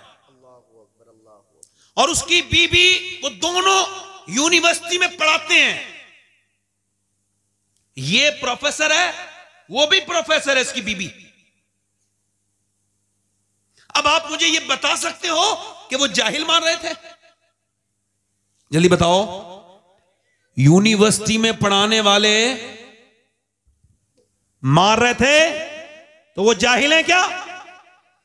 मास्टर, प्रोफेसर मार रहा है। उसकी बीबी भी प्रोफेसर है। वो भी एम एम कॉम है। ये भी एम एम कॉम है। इसका मतलब क्या है मतलब ये है दुनिया की जितनी भी यूनिवर्सिटियाँ हैं वो बायोलॉजी केमिस्ट तो पढ़ाती हैं मगर एक ही दुनिया की यूनिवर्सिटी है जो माँ बाप का एहतराम पढ़ाती है वो सिर्फ़ मेरे मदीने वाले का दीन है ये तो दावा है दलील सुन लो ये क्या है दावा दलील सुन अब दलील सुनो आज तक कोई हाफिज कारी मौलाना तुमने माँ बाप का नाफरमान नहीं देखा होगा। बोलो, सही है, ये गलत है। कोई एक आज जलील हो तो उसका ज़िक्र ना करो। अक्सरियत जो है ना, ज़्यादातर लोग कैसे हैं जो अपने माँ बाप के फर्मा बरदार फर्मा बरदार हैं। उसकी वजह इमाम गजाली लिखते हैं, आप भी गाँव के रहने वाले हैं। मैं भी जनेटा शरीफ गाँव ही है, गाँव के ही रहने वाला हूँ। बकरी जब पैदा होती है, बकरी का बच्चा पैदा होता है और जब वो अपनी माँ को देखता है पहचान लेता है। पहचानता है कि नहीं पहचानता है? भैंस का बच्चा बोलो पहचानता है नहीं। गाय का बच्चा इंसान अशरफुल मखलूकात है नहीं पहचानता। अल्लाह अल्लाह नहीं पहचानता क्यों? इसमें भी अल्लाह की रहमत है। कि ये जैसा देखेगा वैसे ही करेगा यानी जैसा पा जैसा माँ के अंदर देखेगा वैसे ही करेगा इसका मतलब ये है आप जरा तवज्जो करें जब बच्चा आपका थोड़ा सा बड़ा हो जाए इमाम गजाली कहते हैं जब एक डेढ़ साल का हो जाए तो बाप को चाहिए अपने बच्चे को गोद में ले और गोद में लेने के बाद उसको ये कहे अल्लाह अल्लाह अल्लाह अल्लाह अल्लाह अल्लाह अल्लाह अल्लाह अल्लाह अल्लाह अल्लाह अब आप कह रहे हो अल्लाह अल्लाह बच्चा ये रिस्पॉन्स करता है जवाब देता है अब्बा अब्बा अब्बा अब्बा बात देख लेना कभी वो कहेगा ही नहीं अल्लाह वो कहेगा, अब्बा, अब आप हो, अल्लाह अल्लाह अल्लाह। वो कह रहे अब्बा, इमाम गजाली कहते हैं, वो कहता नहीं है बच्चा। उससे अल्लाह कहलवाता है, देख इंसान, तूने इसे मेरा नाम सिखाया था, मैंने इसे तेरा नाम सिखा दिया।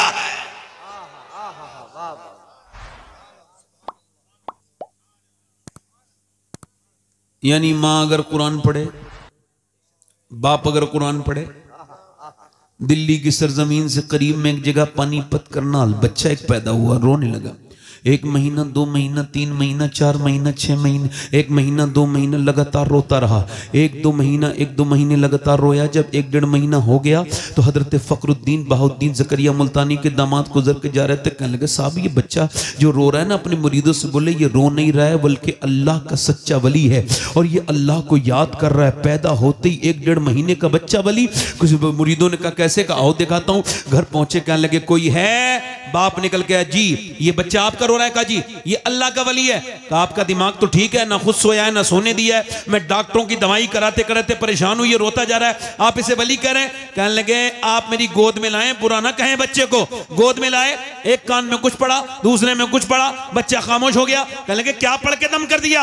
अब बाद में बताऊँगा। पहले बताओ, क्या इसकी माँ कुरान की हाफिजा है? हाँ तो सुनो, जब ये अपनी माँ के पेट में था ना तो इसकी माँ ने उठते, बैठते, चलते, फिरते, इतना कुरान पढ़ा कि वो 24 घंटे में कुरान खत्म करती थी।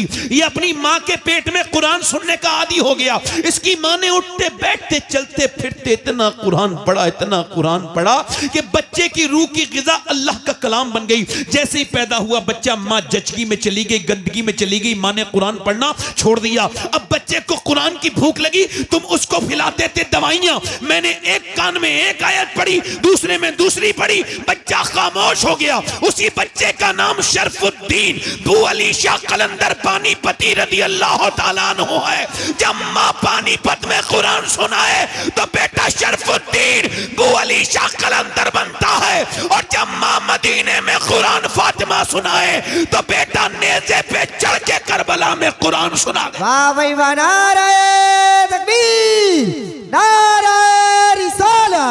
नाराए हैदरी जिंदाबाद जिंदाबाद जिंदाबाद। माशाल्लाह माशाल्लाह माशाल्लाह। वाह वाह वाह वाह अब कुरान को लपेट के रख दिया। कहा? अलमारी में उसके ऊपर धूल चढ़ गई। उसके अंदर।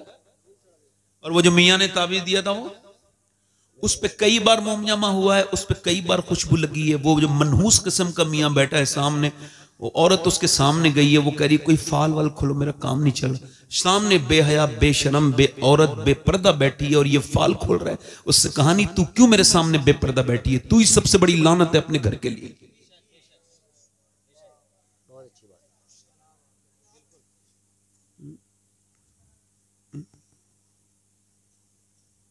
हुजूर ने फरमाया, मैं इजाज़त नहीं दूँगा।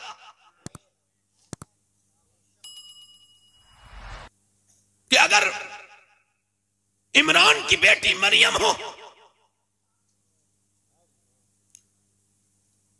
और साथ में रहने वाला याहिया के बेटा जकरिया हो मैं इजाज़त नहीं दूँगा। तवज्जो सुनो सुन तो लो। अब आप इधर देखो मियाँ का वो जो कुरान वो ता, जो ताबीज है ना उसकी अहमियत कुरान से।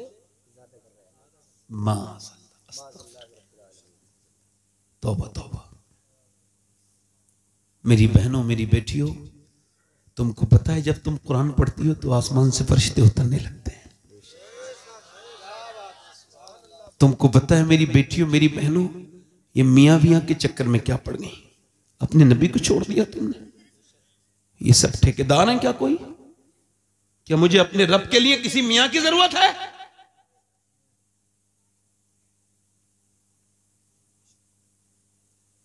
वसीला, अच्छी बात है। तो क्या बिन वसीले मुझे रब नहीं मिलेगा? और वसीला मेरे लिए आमना का लाल है, वो दुनिया में भी वसीला है, आखिरत में भी वसीला है।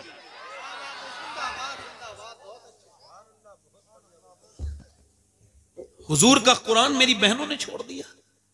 पहले कुरान पढ़ती थी औरतें तो घरों में बरकत होती थी। एक वाक्य मैंने पढ़ा, गैर मुस्लिम लड़की तो जो है। एक बचपन में मुसलमान लड़की और दीनदार लड़की की सहेली बन गई स्कूल से। तो स्कूल उसके साथ पढ़ती और फिर उसके घर आके उसने देखा इसकी माँ से कुरान पढ़ाती है, मुल्लानी थी उसकी माँ। तो इसने उसके साथ कुरान भी पढ़ना शुरू कर दिया। और घर वालों को नहीं बताया कि कुरान पढ़ती हूँ। घर वालों को नहीं बताया कि कुरान कुरान कुरान घर वालों को नहीं बताया कि कुरान पढ़ती हूँ और हल्के हल्के नाजरा कुरान पूरा कर लिया। और कुरान पूरा करके उसके बाद इसने देखा कि इसकी सहेलन भी हाफजा कर रही है तो इसने भी हाफजा कर लिया। और ये हाफिजा हो गई। है? और दोनों हाफिजा हो गई, जवान हो गई, कलमा भी पढ़ लिया, मुसलमान भी हो गई। मगर घर वालों को नहीं बताया कि मैं मुसलमान हूँ। जब रिश्ता हुआ तो अपनी मुल्लानी के पास आके बोली, जिसके साथ रिश्ता हुआ है, बड़ा सख्त है, कट्टर है। मुसलमानों से कुरान से बड़ा नफरत करता है। अब बताओ, मैं तो मुसलमान हूँ। अगर घर वालों को बताऊँ तो मुझे कत्ल कर दें। अब मैं अगर ना बता ना बताऊँ तो मेरा ईमान खतरे में क्या करूँ? कहने लगी, मुल्लानी, तू परेशान ना हो। जिस कुरान से तुझे मोहब्बत है, वही कुरान तेरी मदद करेगा। वही कुरान तेरी रुखसत होके जब गई तो मुल्लानी ने छुपा के तोहफे बना के ऊपर कुछ और रख के नीचे छुपा के कुरान दे दिया और कहा, ये मैं चाहती हूँ कि ये तोहफा अपने घर जाके मेरी शागिर्द खोले। उसने कहा, ठीक है। अपने घर जाके खोला, कुरान पढ़ने लगी। दो तीन बच्चे भी हो गए। वो ऑफ़िस में चला जाता, काम को चला जाता। ये कुरान पढ़ पढ़ के रो के कहती, मालिक, मेरे बच्चों को और मेरे शोहर को भी जन्नती बना दे। इसके दिल में इस्लाम की मोहब्बत डाल दे। मगर मियाँ, कुछ अल्लाह को कुछ और ही मंजूर था। तीन चार बच्चे हो गए, तीन बच्चे। मगर फिर भी कोई बात नहीं, मगर बीमार शोहर हो गया एक दिन, जब चेकअप करा के आया तो घर में हाथ पैर नीचे को डाल के डिप्रेशन में रोने लगा। बीबी ने कहा, क्यों रोता है, क्यों रोती है बता? क्यों क्यों रोते क्यों रोते हो बताओ? क्या बात है मेरे सरताज? बोला, बात यह है कि तुम कुछ दिनों में विधवा हो जाओगी और मैं बिल्कुल मर जाऊँगा। डॉक्टर ने कहा, तेरा कैंसर इतना खराब हो चुका है कि तू अब एक आध महीने का मेहमान मर जाएगा।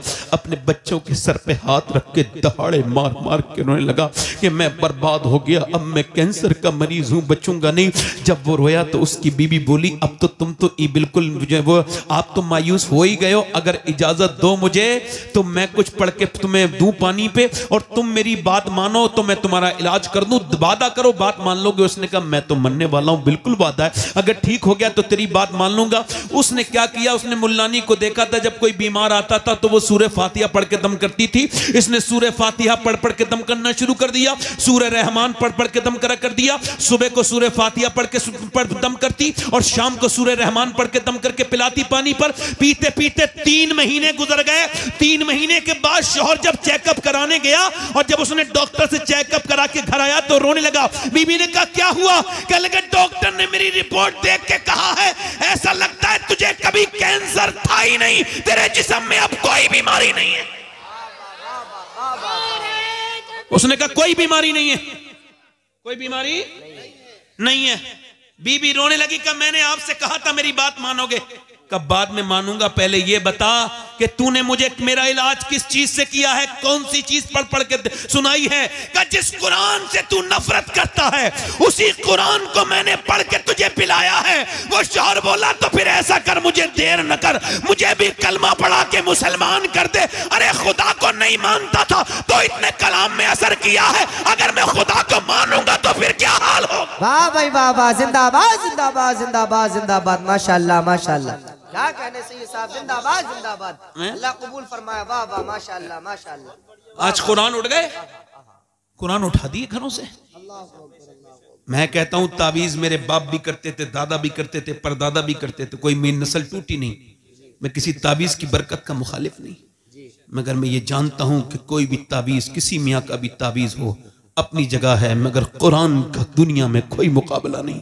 कुरान हुजूर का सबसे बड़ा मुआजा ये कुरान वो है जिसके लिए ये कुरान वो है जिसके लिए बुज़ुर्गों ने हमारे गर्दने कटाई हैं। ये वो कुरान है जिसके लिए लोगों को सूलियों पे चढ़ना पड़ा है। ये वो कुरान है जो अल्लाह का फरमान है और पूरा का पूरा कुरान अल्लाह का।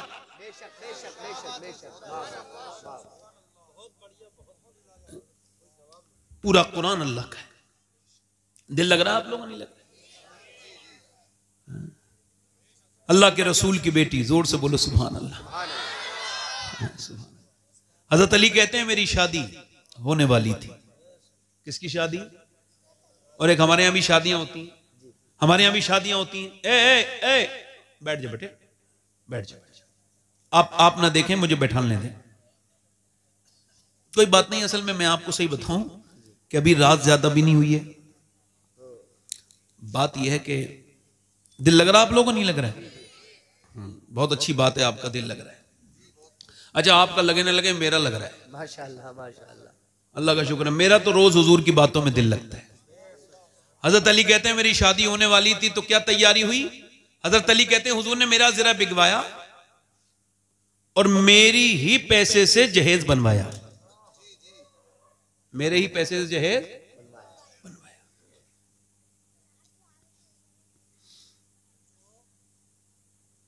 अभी ये मुसलमान के यहाँ पर हमारे चंदोसी के पास एक गाँव है मई। वहाँ आरिफ कब्बाला है जब वो मुझे पता चला तो मैंने कहा इसका भी मैं आरिफ भाई को भी एक मशवरा दे दूँ कि अब आपकी उम्र काफ़ी हो गई है हज भी कराए कुछ शर्म भी करो। सामने एक लड़की बैठी है उससे ये मुकाबला कर रहे हैं। तस्लीम आरिफ के नाम से जो मशहूर है कौबाल भाई, आप इतने नेक इंसान हो इतनी नातें आपने पढ़ी हैं, इतने बेहतरीन बेहतरीन वाकयात आपने पढ़े हैं। और आप ये करते हुए आपको कितने पैसे की ज़रूरत है? ये कव्वाला से मुकाबला करते हो, टोपी उतार देते हो मतलब तो मुसलमान नहीं होते उस वक्त जब टोपी उतारते हो तो? मुसलमान और वो सब मई के लोग मुसलमान है वो सब, जो एक मुसलमान लड़की को बिठाल के मुजरा सुन रहे हैं उसका। मुसलमानों की ये शान है।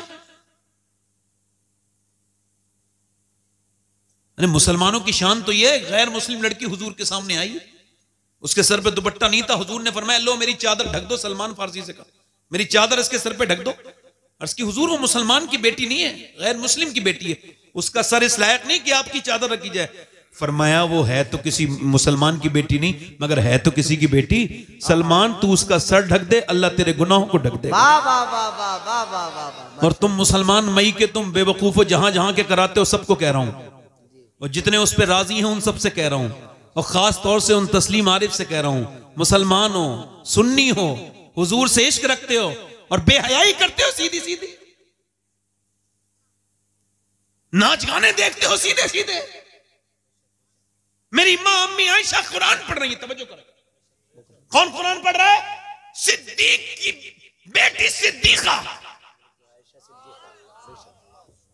मेरे हुजूर की महबूबा, बीबी सैयदा आयशा सिद्दीका। कहाँ कुरान कहाँ पढ़ रही है मदीने में? कहाँ पढ़ रही है, बोलो। और कुरान की आवाज़ छन छन के मस्जिद में आ रही है। हल्की हल्की हल्की हल्की। हुजूर ने पत्थर उठाया। जहाँ से आवाज़ आ रही, वहाँ पत्थर लगाया। अंदर जाके फरमाया, आयशा, इतनी ज़ोर से कुरान न पढ़ो कि बाहर आवाज़ जाए। इतनी ज़ोर से कुरान ना पढ़ो। अब मुझे बताओ, कुरान सुन जो रहे वो सब उनकी औलादे हैं। वो उम्मुल मोमिनीन है। सारे मोमिनों की माँ है। जो कुरान पढ़ रही हैं, वो वो है जिसकी गवाही पाकी की कुरान देता है। सुने नूर जिसका गवाह है, वो अम्मी सैयद आयशा सिद्दीका। और सुने, वो कौन है? वो सिद्दीक अकबर की बेटी है, मेरे नबी की बीबी है। उनकी आवाज़ आई तो मेरे नबी ने कबूल नहीं किया कि आयशा अगर कुरान भी पढ़े तो आवाज़ बाहर ना जाए। तो ये कव्वाली वाली क्या चीज़ है?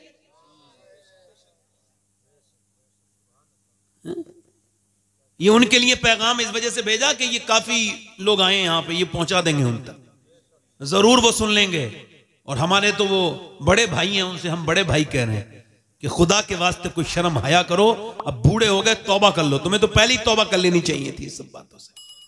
हज़रत अली कहते हैं कि मेरी निकाह होने वाला था। कहते मैं निकाह करके अपनी बीबी फातिमा के पास गया। पहली मरतबा मैंने सैयदा के कमरे में जब कदम रखा तो उन्हें देख के रोने लगा। कोई बीबी को देख के रोता है अपनी? दूल्हा? नहीं ना और बीबी भी फातिमा हो, सैयदा हो, और मियाँ नबी की बेटी? हम सुबहान अल्लाह अम्मी आयशा फरमाती, जिसकी नाक, जिसकी आँख, जिसके होंठ, जिसके रुखसार, जिसका चलना, जिसका बोलना, बिल्कुल नबी की तरह है। वो कोई और नहीं, बल्कि सैयदा फातिमा है। फातिमा चलती थी, ऐसा लगता था अल्लाह का रसूल चल रहा है। फातिमा बोलती थी, ऐसा लगता था रब का रसूल बोलने लगा सुनो। हज़रत अली कहते हैं, मैं रोने लगा। अपनी बीबी को देख के। तो मुझे देख के वो बोली, आप क्यों रोते हैं? कि आपको शादी ये पसंद नहीं थी? मैंने कहा, बिल्कुल, हुजूर का एहसान है। सरकार ने आपका हाथ मेरे हाथ में दे दिया और आपने मुझे मंजूर किया, फातिमा। मगर मुझे एक बात का गम है। का क्या? का कितनी भी गरीब लड़की की शादी हो, मेरी बहनें सुन लें, मेरी बेटियाँ सुन लें। हो सके तो लिख लें, हो सके तो रुखसत करते वक्त अपनी बेटी को ये बात कान में सुनाएँ। अल्लाह तुम्हें इसका अजर देगा। क्या? हज़रत फातिमा कहने से कहने लगे, हज़रत अली है फातिमा, मैं देख रहा हूँ, कितनी भी गरीब की लड़की की शादी हो, एक दो जोड़ी कपड़े नए पहन लेते हैं। मैं देख रहा हूँ कि हसरत होती है, तमन्ना होती है, दुल्हन के दिल की हसरत होती है कि मैं अपना हसरत निकालूं दुल्हन बनते वक्त। मगर मैं देख रहा हूँ, आप जिस कपड़े में दुल्हन बनी है, उसमें सत्तर पैमद लगा है। उस चादर में मगर आपके चेहरे पर कोई शिकन नहीं। तो कहते हैं, सैयदा फातिमा ने मेरी तरफ़ देखा, आँखों में आँसू आए और कहने लगी, मेरे अब्बा फरमाते हैं, अल्लाह कपड़ों से राज़ी नहीं होता। अल्लाह तो मेरी बेटी फातिमा सजदों से राज़ी होता है। मेरी आखिरी बातें हैं। जीस की आखिरी हिचकी है, गौर से सुन। ज़िंदगी भर का खुलासा इसी आवाज़ में है। मेरे दोस्त, मेरे भाई तवज्जो करें। यूँ ही सैयदा फातिमा सैयदा फातिमा नहीं है। हुजूर ने फरमाया, फातिमा, सबने चाँद देख लिया, कल को ईद है। मेरी बेटी ने देखा चाँद? का अब्बा नहीं देखा। फातिमा, सबने देखा, आपने क्यों नहीं देखा? अर्ज़ की अब्बा, सबने देखा। इसी वजह से तो मैंने नहीं देखा। फातिमा नहीं चाहती कि जिस चाँद पे गैर महरम की नज़र पड़े, उस पे फातिमा की भी नज़र पड़े।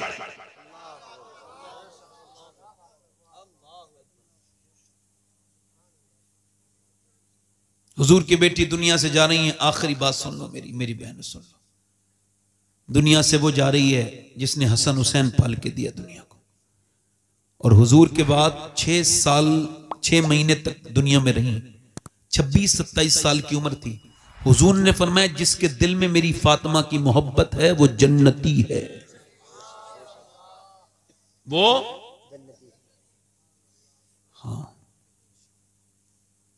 दुनिया से जा रही हैं। रो रही हैं नबी की बेटी। हज़रत अली कहते हैं, मुझसे कहा, आज मैं अपने अब्बा अब्बा से मिल जाऊँगी।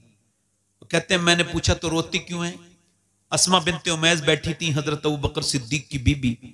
वो कहती, मैं खादमा थी उस दौरान। मैंने पूछा, आप रोती क्यों है? क्या गम है आपको? कह लगी, और तो कोई गम नहीं। मौत का डर है? कहा, नहीं। मैं सोच रही हूँ, जीते जी पर्दा किया है। इंतकाल के बाद जब मैयत चलती है ना तो मैयत पे जब चादर डालते हैं तो पता चल जाता है पेट कितना मोटा है कितना पतला है। मैयत कितनी मोटी है कितनी पतली है। मैं सोच रही हूँ कि कहीं ऐसा ना हो जीते जी तो मैंने पर्दा किया है। इंतकाल के बाद जब मेरा जनाजा निकले तो किसी को यह खबर ना हो जाए कि मोहम्मद की बेटी कितनी मोटी थी कितनी पतली थी। अल्लाह अकबर। मेरा इमाम बरेली से बोला जिसका आंचल न देखा, मोह मेहर ने, उस हृदय नजाहत पे लाखों सलाम। सैदा जहरा तय्यबा ताहिरा, जाने अहमद की राहत पे लाखों सलाम। ओ मेरी बेटियों, ओ मेरी बहनों, अपने घरों में कुरान शुरू कर दो, वरना तुम्हारे बच्चे बर्बाद हो जाएँगे। इनको बचाओ, अपनी बेटियों को बचाओ। छह साल की बच्चियों पर, छह साल की बच्ची के सर पे दुपट्टा रख दो। मैं गारंटी के साथ कह रहा हूँ और मुझसे लिखवा लो। मुझे थूक देना मेरे मुँह पर। छह साल की बच्ची अगर हो और तुमने सर पर दुपट्टा रख दिया, मर जाएगी, मगर अपना सर नंगा नहीं करा सकती। ये गैर मुस्लिम कह रहे हैं, हमने मुसलमान लड़कियाँ कन्वर्ट करा ली, हमने मुसलमान लड़कियाँ छीन ली? अरे, तुम्हारी हैसियत कोई नहीं। है मुसलमान थी नहीं। सही मानों में। वरना मुसलमान कैसे चली जाएगी? उसने इस्लाम समझे ही नहीं। गैर मुस्लिम के साथ एक लड़की गई। मैंने उससे मुलाकात की। मैंने पूछा, तुम मुसलमान हो? लगी जी, मुसलमान थी मैं, अब तो नहीं। मैं कह, लगा, क्या तुम सईदा फातिमा को जानती हो? बोली, नहीं। मैंने कहा, आप सईदा खतीजा को जानती बोली, नहीं। मैंने कहा, मैं सुनाऊं? बोली हाँ सुनाओ। मैंने उसे एक एयरपोर्ट पे बैठ के एक घंटे लगातार सैयदा फातिमा की बातें सुनाई। बचपन से लेके तक विशाल तक, आखिर में वो बदल गई। मैं कहता हूँ, गैर मुस्लिमों से, जो ये देख के खुश होते हैं, मुसलमान लड़कियाँ हमने छीन ली। उन्हें बताओ, उन्होंने इस्लाम समझा नहीं था। अगर समझ लेती तो कभी अपनी जान दे देती, ईमान नहीं देती, देखना है तो फिलिस्तीन को देख लो। मेरे नबी ने फरमाया, जब मदीने के हालात बिगड़े तो सिहाबा तुम चले जाना शाम। अर्ज़ की हुजूर, शाम के हालात बिगड़े तो मेरी उम्मत के लिए दुआ करना। फलस्तीन को देखो, हमें क्या मतलब फलस्तीन से? मगर एक बात बता रहा हूँ आपको, फलस्तीन में सात हज़ार बच्चे ऐसे मरे हैं जो दस साल से कम उम्र के थे। शहीद हुए कितने? सात हज़ार। और माए उठा रही ना बच्चों को तो किसी का हाथ आ रहा है। किसी का पाँव आ रहा है। पूरे बच्चे भी नहीं मिल रहे। हैं छोटे छोटे बच्चे हैं। अल्लाह अकबर। जरा गौर तो करो एक एक ब्रेड पर तीन तीन बच्चे लड़ रहे हैं। भूखे हैं बेचारे। उनके घर खंडर बन गए। मगर पूरी दुनिया में किसी को कोई तकलीफ़ नहीं। और हम तो कर भी कह सकते हैं? उनके लिए कुछ नहीं कर सकते। सब कुछ है भी, तब भी कुछ नहीं कर सकते उनके लिए। अल्लाह अकबर। मगर किसी को कोई अफसोस नहीं। मगर मेरे नबी को तकलीफ़ है। मेरे सरकार फरमाते हैं, मेरे उम्मती के पाँव में कांटा लगता है, तब भी मुझे तकलीफ़ होती है। तो उम्मती हुजूर को भूल गए। हुजूर तो उम्मती को कभी नहीं भूले। मेरे सैदी सरकार आला हज़रत फरमाते हैं कि आज भी गुंबद खजरा में मेरे नबी अपने उम्मत के लिए दुआ कर रहे हैं। हाथ उठा के दुआ करते हैं। अच्छा लगता भी है। मदीने जब जाओ तो वहाँ रहो तो ऐसा लगता ही नहीं कि जैसे कोई तकलीफ़ है। ऐसा लगता है कि बस आसानी आसानी है, बस जन्नती जन्नत है, बस सुरूर ही सुरूर है, बस बरकत ही बरकत है। हाँ वहाँ से जब आओ तो ज़रूर रूह बढ़ मिचलने लगती है। मैं कहता हूँ, फलस्तीन की वो लड़कियाँ, अल्लाह का शुक्र है कि मैं सैयद पैदा हुआ, अल्लाह का शुक्र अदा करता हूँ। इस पर मैं अल्लाह का फजल है, उसका शुक्र अदा करता हूँ। और मैं जो भी हूँ, जिस लायक भी हूँ, मैं किसी लायक तो नहीं, मगर अगर मुझे फलस्तीन की लड़कियों के जूते मिल जाएँ उन लड़कियों के जिन्होंने ये बयान दिया है तो मैं अपनी कब्र में रख के उसे वसीयत कर दूँ कि ये जूता ज़रूर मेरी कब्र में रख देना। ये उस बहन का जूता है जिसने ये बयान दिया। वहाँ की लड़कियाँ बयान ये दे रही हैं कि हम रात को सोते हैं तो बुरका ओढ़ के सोते हैं। कहा, क्यों? रात को तो कोई बुरका नहीं ओढ़ता। क्या लगे, इस वजह से जब बम गिरते हैं तो मलबे में लाशें दब जाती हैं। हम ये सोचते हैं जब हमारे घर, घरों पर बम गिरे और सुबह को जब हमारी लाशें निकले तो वो बेपर्दा नहीं होनी चाहिए, उस पर पर्दा होना चाहिए। मैं ये बात अपनी बेटियों को बना बता देता। उन बेटियों को बता देता जिन्हें कॉलेजों में रह के पर्दे से नफरत हो गई, जिन्हें चार दीवारी से घुटन होती है। मैं अपनी उन बहनों से कहता, जिन्हें दुपट्टा रख, सर पे रखने में वो बेजती का एहसास होता है, मैं उन्हें बताता अपनी बहन बेटियों को, उनके जो, वो कहती है, हम मॉडर्न कैसे रहेंगे अगर सरों पर दुपट्टा रखेंगे? मैं कहता हूँ, मेरी बेटियों, खुदा के वास्ते वापस आ जाओ। कयामत का दिन होगा, नबी की बेटियों की कैसे हुजूर को जवाब दोगी? कैसे हुजूर की बेटी को जवाब दोगी, बताओ, मैं पूछता हूँ तुमसे, और मैं आपसे भी पूछता हूँ, नौजवानों, जरा तो आपसे भी जरा पूछने लगा हूँ, अपनी बहन बेटियों को आपने भी कभी नहीं समझा, कभी गौर नहीं किया, आखिरी बातें मेरी ये हैं, जो कि मैं अपनी तकरीर के खात्मे पर हमेशा करता हूँ कि मेरे दोस्तों, तौबा कर लो, और मेरी बहनों, आप भी आज तोबा कर लो, भी वक्त है। मैंने अपने हाथों से अपने ताया को दफन किया, और मैंने अपने सामने अपने अब्बा को दफन होते देखा। मैंने अपने रिश्तेदारों को, मुझ पर यह राज खुल चुका है कि मैं भी मर जाऊँगा। और मुझ पे इसमें कोई अभाम नहीं है मुझे। कोई मैं, उस मुझ पर खुली, ये खुली बात है। जब मैं पैदा हुआ था तो मौत का अलार्म बच गया था। इकबाल ने कहा था, हर एक मकाम से आगे मकाम है तेरा। हयात, जौके सफ़र के सिवा कुछ और नहीं। रोज सफ़र है मेरा। मैंने कितनों को मरते देख लिया। कुछ लोगों को इल्म हो जाए तो तकबर हो जाता है। कुछ लोग ज़्यादा दौलत पा जाए तो तकबर कर लेते डरते नहीं अल्लाह से। नहीं कह रहा हूँ जो नहीं डरते। एक बार मैं कुछ खराब लोगों, खराब पीरों के खिलाफ बयान कर रहा था तो कुछ अच्छे पीरों को बुरा लग गया। तो मैं समझा, यार, ये इसका मतलब ये भी इसी में मुलविस है। मैं कहता हूँ, डरना। मेरे हुजूर की हदीस सुनिए। अल्लाह के रसूल फरमाते हैं, मेरी नज़र में सबसे खतरनाक जगह कब्र है। सबसे खतरनाक जगह किसकी नज़र में? हुजूर की नज़र से कुछ छुपा है? जब ना खुदा ही छुपा, तुम पे करोड़ों दरूद। हुजूर की नज़र से कुछ छुपा है? जब ना खुदा ही छुपा। हाँ। उमर फारूक आज़म, सब कह दो रदी अल्लाह तला सब कह दो। हज़रत उमर, हजूर ने फरमाया, मेरे बाद नबी होता तो उमर। मेरे बाद नबी होता तो जल्दी बोलो, मेरे बाद नबी होता तो। उमर होता आदि दुनिया के बादशाह। उमर की तरह हाकिम न पैदा हुआ, उनके बाद न होगा कयामत तक। उमर वो है, उसके इल्म का हाल यह है कि 28 आयात कम से कम उसकी मर्ज़ी की कुरान में मौजूद है। उमर वो, मेरे नबी ने फरमाया, मेरे उमर से शैतान डरता है। मेरे नबी ने फरमाया अल्लाह फख्र फरमाता है, अरफात के मैदान में मेरे सिहाबा पर और बिलखसूस मेरे उमर पे फख्र फरमा रहा। उमर के जब तलवार मारी, वो मारा गया चाकू, आंत फट गई, दूध पिया, आंत से निकल गया। और जब आंत से निकला दूध, आपने कहा मौत करीब है, मेरे सर ज़मीन पे रख, नहीं रखा। अब्दुल्ला, बेटे मेरा सर ज़मीन पे रख दे, नहीं रखा। अब्दुल्ला, सर ज़मीन पे रख दे, नहीं रखा। बेटे मेरा सर ज़मीन पे रख दे तो जब सर ज़मीन पे रखा तो उमर ने अपनी नाक अपनी नाक मिट्टी में रगड़ी मदीने की और कहने लगे अल्लाह, लोग कहते हैं, उमर ये है, उमर वो है, मगर उमर तो तेरी बारगाह का मुजरिम है, मोहताज है। अगर आज तूने उमर को ना बख्शा तो उमर बर्बाद हो जाएगा। मेरी मौत का वक्त है और मैं तुझसे मिलने ही वाला हूँ। मुझ पे करम कर दे, मुझे माफ़ कर दे। बड़ी सख्त है बहुत। आपने कभी पोस्टमार्टम होते हुए देखा है लोगों को? मैंने देखा है। मैंने देखा है। पोस्टमार्टम देखा है मैंने। पहले वो चीरते थे उससे छेनी हथौड़ी से, अब ऐसा नहीं करते अपडेट हो गए। अब ऊपर से डालते हैं और फाड़ते हुए ले जाते हैं ग्लेंडर लकड़ी काटने वाला। ऐसे करके पूरा फाड़ देते हैं। जो भी चीज़ें उन्हें निकालनी होती हैं, वो निकालते हैं। उसके बाद उस पर बहुत दरिंदगी के साथ वो शराब पिए हुए होते हैं और उसमें लगाते हैं टांके और टांके लगाने के बाद फिर वो दे देते हैं। कभी किसी पोस्टमार्टम वाली बॉडी को बॉडी को गुसल दे के देखना। मैंने ज़िंदगी में कई बार ऐसा किया है। जब जब किया है, मैं गसल देता हूँ मुर्दों को। अल्लाह का शुक्र है।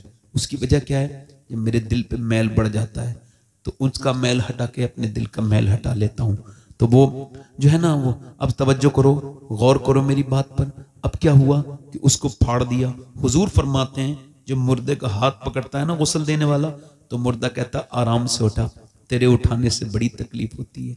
यार जब मुर्दे के हाथ उठाने से तकलीफ़ होती है तो मुझे बताओ, आपसे पूछना चाहता हूँ कि जब वो, कि जब वो उसको चीरते होंगे, पोस्टमार्टम करते होंगे तो कितनी तकलीफ़ होती होगी? दुआ करो "ऐ अल्लाह, हम दिन रात सफ़र में रहते हैं, हमें पोस्टमार्टम वाली मौत से बचा लेना, अपनी रहमतों वाली मौत देना। मौत तो वो बेहतरीन मौत है कि जिसके वक्त मैं कलमा पढ़ रहा हूँ। बेहतरीन मौत तो वह है कि जब रूह निकल रही हो तो सामने गुंबद खजरा हो। ये क्या मौत है? इधर मर गए, उधर मर गए, बगैर रब को पहचाने मर गए। कभी सोचा, कभी गौर किया, कभी गौर किया आपने। एक औरत, मूसा अलैहिस्सलाम के जमाने में एक आदमी के पास आई, कह लगी, मेरे बच्चे बीमार हैं, आप मुझे कुछ दे सकते हैं? उस आदमी ने कहा, मैं तो तुझ पे नज़र रखे हुए था, तेरा शौकीन हूँ, तू रात गुजार दे, मुझे हर रात लड़- औरत चाहिए, तू आज रात आ जा, तुझे दे दूँगा। उसने कहा, मैं अपना जिस्म बेचने नहीं आई हूँ। चली गई, फिर वापस आई कहने लगी, कुछ दे दे, बच्चे मेरे भूखे इतने हैं, उनके मुँह से झाग निकल रहे हैं, मेरे बच्चे बेहोश हो रहे हैं, कुछ दे दे। उसने कहा, मैं रात को आ जाऊँगी जो तेरा दिल चाहे कर लेना वो रात को आई, बच्चों को खिला के कमरे में बैठी थी। इसने उसके हाथ लगाना चाहा। जैसी हाथ लगाया ना, ये कांपने लगी। इसने कहा, कांपती क्यों है? ड्रामा करती है? पैसे नहीं मिले? कहने लगी, पैसे सब कुछ नहीं होते। और फिर का ईमान भी कुछ होता है। का क्या मतलब? का जब मैं जब मैं नमाज़ पढ़ती हूँ, सजदा करती हूँ, तब भी अल्लाह देखता है। और जब मैं तुझसे जिस्म बेच रही हूँ, तब भी मेरा मालिक देख रहा है। और मैं अपने मालिक से यही कह रही हूँ ए मेरे बेपना ताकतों वाले, अगर मैं माँ ना होती, बच्चे मेरे भूखे ना होते तो कभी जिस्म न बेचती। हुजूर फरमाते हैं, ऐसी फूट के रोई, ऐसी फूट के रोई कि रोना तो उसका था, मगर दिल पे असर उसके हो गया। अल्लाह बड़ा करीम है, बड़ा अल्लाह कदरदान है अपने बंदों का। अल्लाह ने उसका दिल बदल दिया। अल्लाह ने जब उसका दिल बदला तो उसकी आँखों के आँसू नीचे को गिरे तो वो बोला, मैं तुझे अपनी बहन बनाता हूँ, ले, ये ले, उसने पैसे दे दिए, सारे, चली जा, तूने मेरा दिल बदल दिया। सजदे में गिर के बोला, मालिक, एक बार आई थी, हाथ नहीं लगाया, कैसी डरती थी मैंने तो कितनी इज्जतें लूटी हैं, मैं तो कितना लुटेरा हूँ, ऐसा रोते रोते सो गया। सुबह को दरवाजे पे दस्तक हुई, इसकी आँख खुली, दरवाज़ा खोला, सामने बुज़ुर्ग खड़े थे, कहा, आपका नाम? कहा, आप पहले बताएँ, किसका घर है ये? कहा, मेरा ये नाम है। तो सामने खड़े होने वाले मुस्कुराए बोले मैं अल्लाह का नबी मूसा हूँ और अल्लाह ने तुझे सलाम कहा है। अल्लाह ने तुझे सलाम कहा है। मैं अल्लाह का नबी मूसा हूँ। उसने कहा, मूसा, कोई देख लो, कोई नेक आदमी को भेजा होगा सलाम। मैं तो इस इलाके का सबसे बड़ा बदतमीज इंसान हूँ। कहा, तूने कोई नेकी की है? कहा एक नेकी की? एक औरत मजबूर थी, उसे अल्लाह के लिए छोड़ दिया। कहा तो सुन, मेरा अल्लाह फरमाता है कि तू तो इतना रोया तेरी आँख के, आँखें भीग गई? अल्लाह फरमाता है, तेरे आँसू अगर इतने हो कि बिल्कुल ज़मीन आसमान के बराबर तेरे गुना हो मगर इतना रोले तेरी आँख का आँसू ढलक के गाल तक आ जाए। मैं सारे गुना तेरे माफ़ कर दूँगा। वो बोला, क्या अल्लाह ने मुझे माफ़ कर दिया? हाँ फिर तो तड़प तड़प के रोया। अल्लाह पूरी ज़िंदगी गुना किए थे। मगर इतना गुनेगार एक बार में बख्श दिया। वो बेहतरीन बख्शने वाला है। वो फजल करने वाला है। वो रहम करने वाला है। मुल्ला रूम कहते हैं, एक औरत एक एक आदमी, एक चूड़ी पहनाने वाला था, औलाद नहीं थी। एक बच्चा खरीद दिया उसने। बच्चा खरीदा, ले लिया, उसने, उसे पाला। बीस साल के बाद अपने घर आया। काम करते करते रोज आता था, मगर बीस साल हो गए थे, उस लड़के को बड़ा होने थे। तो घर आया, बीबी ने कहा, दरवाज़ा नहीं खोलना। कहा, क्या हुआ? कहा, दरवाज़ा नहीं खोलना। कहा, बात तो बता। कौन सा गुना करके आयो आप? कोई गुना नहीं। कहा, सही बताओ। कहा, एक गुना किया। आज एक लड़की को चूड़ी पहना रहा था, उसका हाथ पसंद आ गया। मैंने पकड़ लिया था थोड़ी देर, और थोड़ा सा हाथ फिराया उस पर, मगर फिर याद आया, अल्लाह देख रहा है तो छोड़ दिया का अंदर आ मैंने जिसे ना अपना बेटा बना के पाला है, वो जिसे हम पालते हैं बेटा बना के, उसने आज मेरा गलत तरीके से हाथ पकड़ लिया था। मैं समझ गई कि ज़रूर मेरे आदमी ने किसी की इज़्ज़त पे हाथ डाला है, जो आज मेरे घर में मेरी इस हाथ डाला है।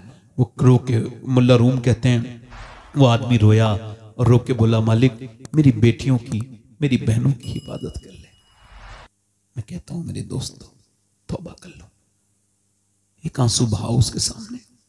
आँसू आपका एक रुपए का भी नहीं बिकेगा। बेचिए देखना टीन का पीपा बिक जाएगा, मगर आँसू नहीं बिकेगा। अल्लाह फरमाता है, मैं बहुत महँगा खरीदता हूँ।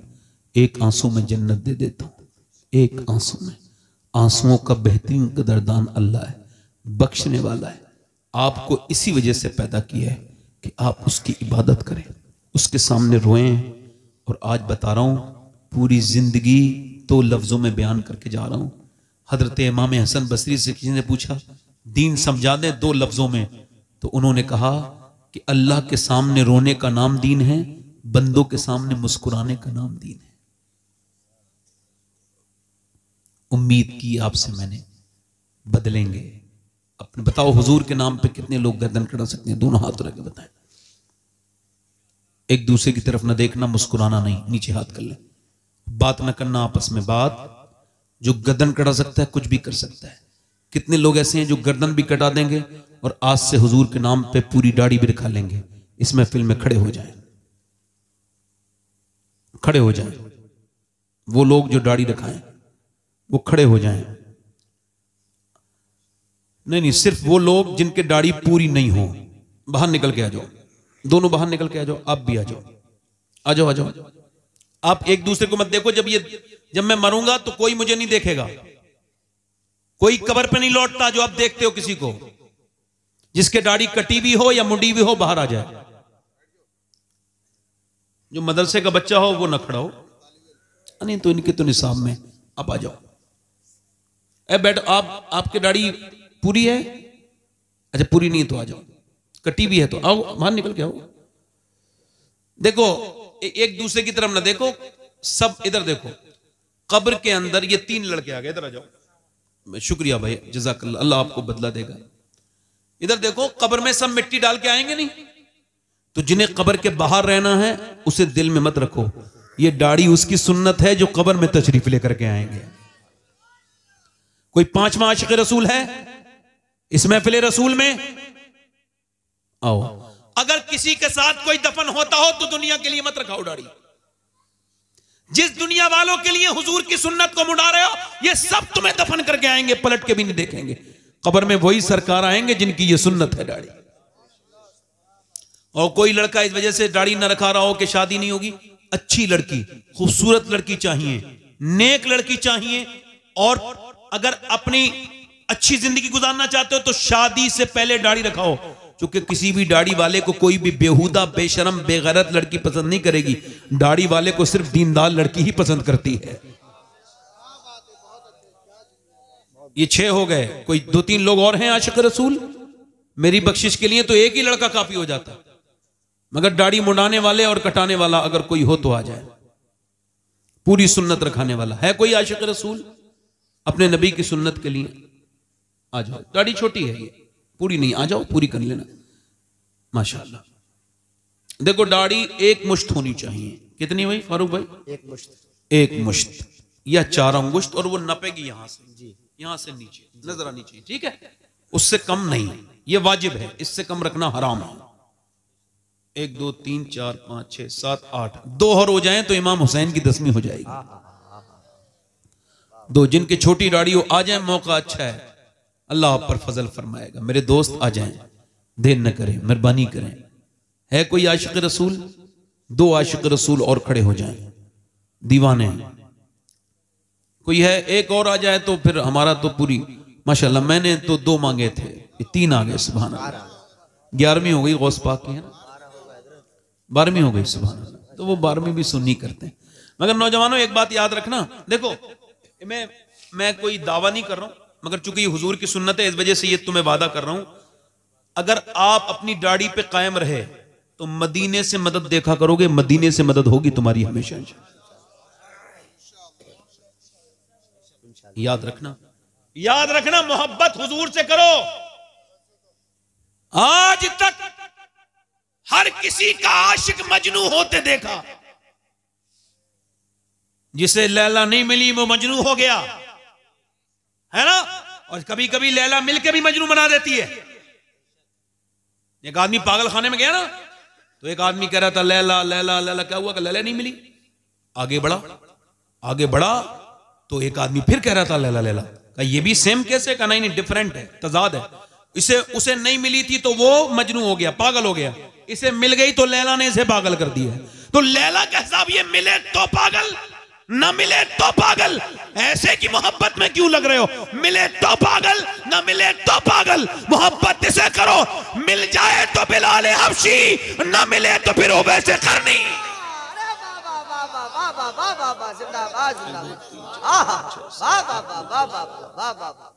ये तेरह हो गए। कोई और आशिक रसूल है? हुजूर से मोहब्बत करो, उठते बैठते सरकार पर दुरूद पढ़ो। उठते बैठ हैं? जो ना भूला हम गरीबों को रजा, याद उसकी अपनी आदत कीजिए। मैं तो कोई और नौजवान देख रहा हूँ, कोई जलालपुर में किसी को जलाल आए, हुजूर के नाम पर खड़ा हो और कहे, भाई, मैं हुजूर के लिए खड़ा हो रहा हूँ। कोई चौथा आशिक रसूल हो तो खड़ा हो जाए। है कहीं? चले, तेरह लोग खड़े हो गए। मुझे नौजवानों से उम्मीद भी थी चौदह हो गए सुबहान अल्लाह जरा ज़ोर से बोलो सुबहान अल्लाह अच्छा कुछ हमारे बुज़ुर्ग भी हैं, जिनकी दाढ़ियाँ सफ़ेद हो गई हैं। मगर वो अभी मुंडवा रहे हैं। जवानी की तलाश है। वल्लाही, अब कयामत आएगी। अब मौत आएगी, जवानी नहीं आएगी। आला हज़रत फरमाते हैं, बैल के सींग काट दो तो वो बछड़ा नहीं बनता। रहता तो बैल का बैली है। कोई और आशिक रसूल है जो सुन्नत रसूल के लिए खड़ा हो? मैं कहता हूँ, यार, फिलिस्तीन की कोई मदद नहीं कर सकते तो अपनी मदद कर लो। चलो आओ, चेहरा हुजूर की सुन्नत के मुताबिक कर लें। एक सुन्नत पर सौ शहीदों का सवाब है। कितने शहीदों का? सौ शहीदों का और कोई आशिक रसूल है? हालाँकि मैं आपको सही बताऊँ, मैं दस तकरीर करता हूँ तो इतनी मेहनत नहीं लगती। इतनी आज एक तकरीर करने में मेहनत लगी। क्योंकि हमारी तरफ़ का माहौल थोड़ा सा अलग है। यहाँ मजाकिया लोग हैं ना यहाँ पे? मज़ाक करने वाले, लतीफे कहने वाले मौलवी। ये मज़ाक करने वाले आया करें तो इनसे कहो, मौलाना कोई ऐसी आयत पढ़ के सुनाओ कुरान की जिससे हँसी आ जाए। कभी आपने कुरान सुनते, पढ़ते पढ़ते किसी को हँसते देखा है? मैंने रोते तो बहुत देखा है लोग हँसते देखा है? अब मौलवी भी जब हंसाने वाले काम करे तो रोएगा कौन? आलिम का क्या म्यार है? कुरान ने कौन सी डिग्री बयान की है? कुरान कहता है मिन इबादिहिल तुम में जो डरते हैं, वही आलिम है। और इल्म वाले ही डरते हैं। और जो डरता नहीं वो पढ़ा लिखा तो हो सकता है मगर आलिम नहीं है। वाह वाह वाह वाह बहुत बड़ी बात बहुत बड़ी बात समझ आ रही नहीं आ रही? बहुत अच्छा बहुत अच्छा वाह वाह वाह वाह वाह समझ आ रही नहीं आ रही? हाँ। अच्छी बात तवज्जो करो जरा। नहीं नहीं और और भाई हमने तो बड़े अल्लाह का शुक्र है कि मैं तो अल्लाह के अलावा किसी डरता ही नहीं। हाँ हाँ वाह और यही दलील है कि मैं अल्लाह से डरता हूँ। डरता वरता किसी से नहीं हूँ मैं। उसकी वजह यह मैं ज़्यादा लंबी ज़िंदगी जीने नहीं आया। अगर मुझे कोई दीन की वजह से मार दे तो मैं शहीद हो जाऊँगा। अल्लाह करे तो मैं दीन की वजह से शहीद हो जाऊँ। आमीन कहो। मेरे बुज़ुर्गों ने ऐसी दुआएँ मांगी हैं। खुदा की कसम, शहादत की मौत में तकलीफ़ नहीं होती बिल्कुल भी। अल्लाह शहादत की मौत अता फरमाए। आप मेरे साथ वादा करो, हाथ उठाओ। मैं आपके वादा कराता हूँ। कहो हम वादा करते हैं। जिस दाढ़ी रखने वाले। हम वादा करते हैं, आज के बाद न दाढ़ी कटेगी, न मुड़ेगी। इन कराम की मौजूदगी में हम अहद करते हैं, आज से पूरी सुन्नत रखाएँगे नमाजों के साथ। अल्लाह, हमें इस्तकामत अता फरमा। अल्लाह, हमें नेकियों की तोफीक दे दे। आमीन। बैठ जाए। अच्छा हुजूर की आँखों की ठंडक क्या है? जरा बोलो। जल्दी बोलो मेरे भाइयों। अच्छा आप में कोई ऐसा है जो कयामत के दिन नमरूद के साथ खड़ा होना चाहता हो? कोई हो तो हाथ उठाओ मेरे दोस्त। कोई फिरौन के साथ खड़ा होना चाहता हो? अबू जहल के साथ? मेरे हुजूर फरमाते हैं, मगर हर बेनमाजी जो है ना, वो अबू जहल के साथ खड़ा होगा। उतबा के साथ खड़ा होगा। शैबा के साथ खड़ा होगा। एक आदमी ने आके हज़रत उमर से कहा, हुजूर, इधर देखो मैं बर्बाद हो गया। का क्या हुआ? का मैंने जिना कर लिया। तो आपने फरमाया, इस पे कोड़े मारो, कोड़े बरसाओ। फिर आपने हज़रत अली से कहा, यार ये ऐसे डर के आया था, मुझे लगा इसकी नमाज़ असर कजा हो गई हो। मेरे दोस्त नमाज़ को ना छोड़ो। तो नमाज़ हजूर की आँखों की, दोनों हाथ उठा के बोलो, इंशाल्लाह नमाज़ की पाबंदी करेंगे, इंशाल्लाह। अपनी बहन बेटी को पर्दा कराएँगे, इंशाल्लाह। और मसल के आला हज़रत पे सख्ती से कयाम। और मसल के आला हज़रत क्या है? मसल के आला हज़रत यह है कि आप अपने अकीदे को महफूज रखेंगे। किसी भी बदअकीदा से आप किसी तरह का कोई ताल्लुक। हमेशा, चूँकि ज़िंदगी बहुत लंबी हमारी, हम जब तक जिएँगे, नबी के लिए जिएँगे, है ना? अल्लाह आपको आला हज़रत से सच्ची मोहब्बत अता करे, हम सबको अता करे। और देखो, मैं बड़ा कमिल आदमी हूँ, बड़ा बेकार सा इंसान हूँ, घटिया किस्म का, कोई गलती मेरी हो गई हो तो अल्लाह मुझे माफ़ करे। तोबा करें अस्तफ़ुल्लाह रबी पंडित जी, ला इलाहा मेरी ज़िंदगी का मकसद तेरे दी की सरफराजी, मैं इसीलिए मुसलमान, मैं इसीलिए नमाजी, इस्लाम जिंदाबाद मसल के आला हज़रत पाइंदाबाद लक़ुतकान लकुम फ़ी रसूल उसवत हसना सदक़ल्लाज़ीम वमा अलैना अलैकुम।